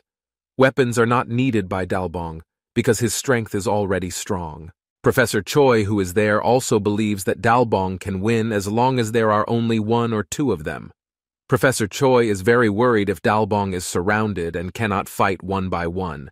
This is certainly very dangerous for himself. Young Chun strongly agreed with what Professor Choi said. This is the truth. There can't be only a few zombies. The number is very large and dangerous. Even worse, it can make Dalbong become a backache when facing one by one. Dalbong was so exasperated that he begged Young Chun. He asked for good advice not to argue about this. Young Chun immediately mocked Dalbong, the damn person who thought that Yararim easily died there. Dalbong felt very emotional about this, until he was speechless. Young Chun immediately held Dalbong's shoulder. According to Professor Choi, it doesn't feel good at this time of year. The most important thing is to always be careful in any case. Moreover, acting like he wants to do something is good to think carefully so that no mistakes happen. Professor Choi asked Professor Kim to deliver the goods using his raven. Professor Kim also agreed because, according to him, the animals will not be attacked, so this is very possible to do. Young Chun asked everyone to start moving, First is to collect all the needs and keep an eye on the surroundings. First is much better. Not forgetting in this case, as Dalbong already said, they definitely need great fighters. Then all the responsibilities are given to people who can be relied on. Professor Choi has not found anyone who is willing in this case. Professor Kim also thinks who is the person who deserves to carry such a heavy burden. Dalbong suggested that the responsibility would be accepted by his granddaughter. Dalbong's granddaughter's name is Yiseo. She is very good at martial arts since she was a child. Dalbong always trained his granddaughter since childhood, and until adulthood she could do it. Dalbong is confident that his granddaughter can survive, and she has started to rise for now. Yiseo has reliable skills and responsibilities. Dalbong assured everyone that he could guarantee this well. Dalbong's face smiled to convince everyone in this place, namely Professor Kim, Professor Choi, and Young Chun. Young Chun also believes that. This is because Dalbong's grandson is definitely reliable, and there is no need to doubt his performance. Young Chun personally agrees if this is entrusted to Yiseo, the grandson of Dalbong. Professor Choi first wanted to ask how to meet with Yiseo directly. Before everything is agreed, it would be better to have a meeting with Yiseo. Hearing Professor Choi's words, Dalbong explained that his grandson was in the heavenly Joseon art dojo, precisely in the city of Namsan Chuncheon. The place is for special martial arts training or school. So far, Dalbong's grandson has been very active in martial arts. Even at school, he still participated in martial arts. On the other hand, showing the atmosphere of the Dalbong grandson's martial arts school, Yiseo, who wears special clothes. At the school, there are also other friends. Yiseo has become an adult woman with her martial arts skills. Meanwhile, Professor Kim showed his cell phone and there was a photo of Yiseo. He told the photo to Young Chun. He asked to find the girl Yiseo in the photo. Professor Kim also asked the crow to go looking for Jerim's whereabouts. The crow immediately launched its action by carrying a paper and food. They flew across several places, especially through places that had been overrun by zombies. Ryu and Jerim were already outside and were waiting for the crow to deliver the food. Jarim was still looking at the sky. He immediately realized that the crow had arrived and was about to land. Jerim was very happy about all this. Finally, the crow arrived. There was a letter, then some food that was sent specially. Jerim immediately opened the letter and checked it. Ryu didn't expect the crows to actually come and deliver some food. He was very grateful for all this. At first, Ryu didn't just believe Jerim. Moreover, Jerim is a person who has just been known, so it's not that easy to just trust. Jerim immediately assured Ryu that he believed in him. Ryu guessed that Jerim had a good place to hide, then have good colleagues willing to help each other. Now Ryu says he trusts Jerim. Ryu felt like he impolite. He wanted to go with Jerim too. He felt it would be safe to stay with the Jerim. Ryu is very afraid if zombies enter his house and mess all this up. With great pleasure, Jerim allowed Ryu to join his team all this time. Jerim said welcome to Ryu who was willing to join him. He immediately activated the skill, namely transmission to Ryu. Ryu's body was immediately covered by the power possessed by Jerim, especially on Ryu's face. By using his power, Jerim will recruit Ryu for his availability to join together. Now it is entering the skill acquisition on Ryu. After doing so, Finally, the skill acquisition has succeeded well. In this way, Ryu and Jerim could escape from this place easily. Everything is finished, Jerim and Ryu will return to a safe place.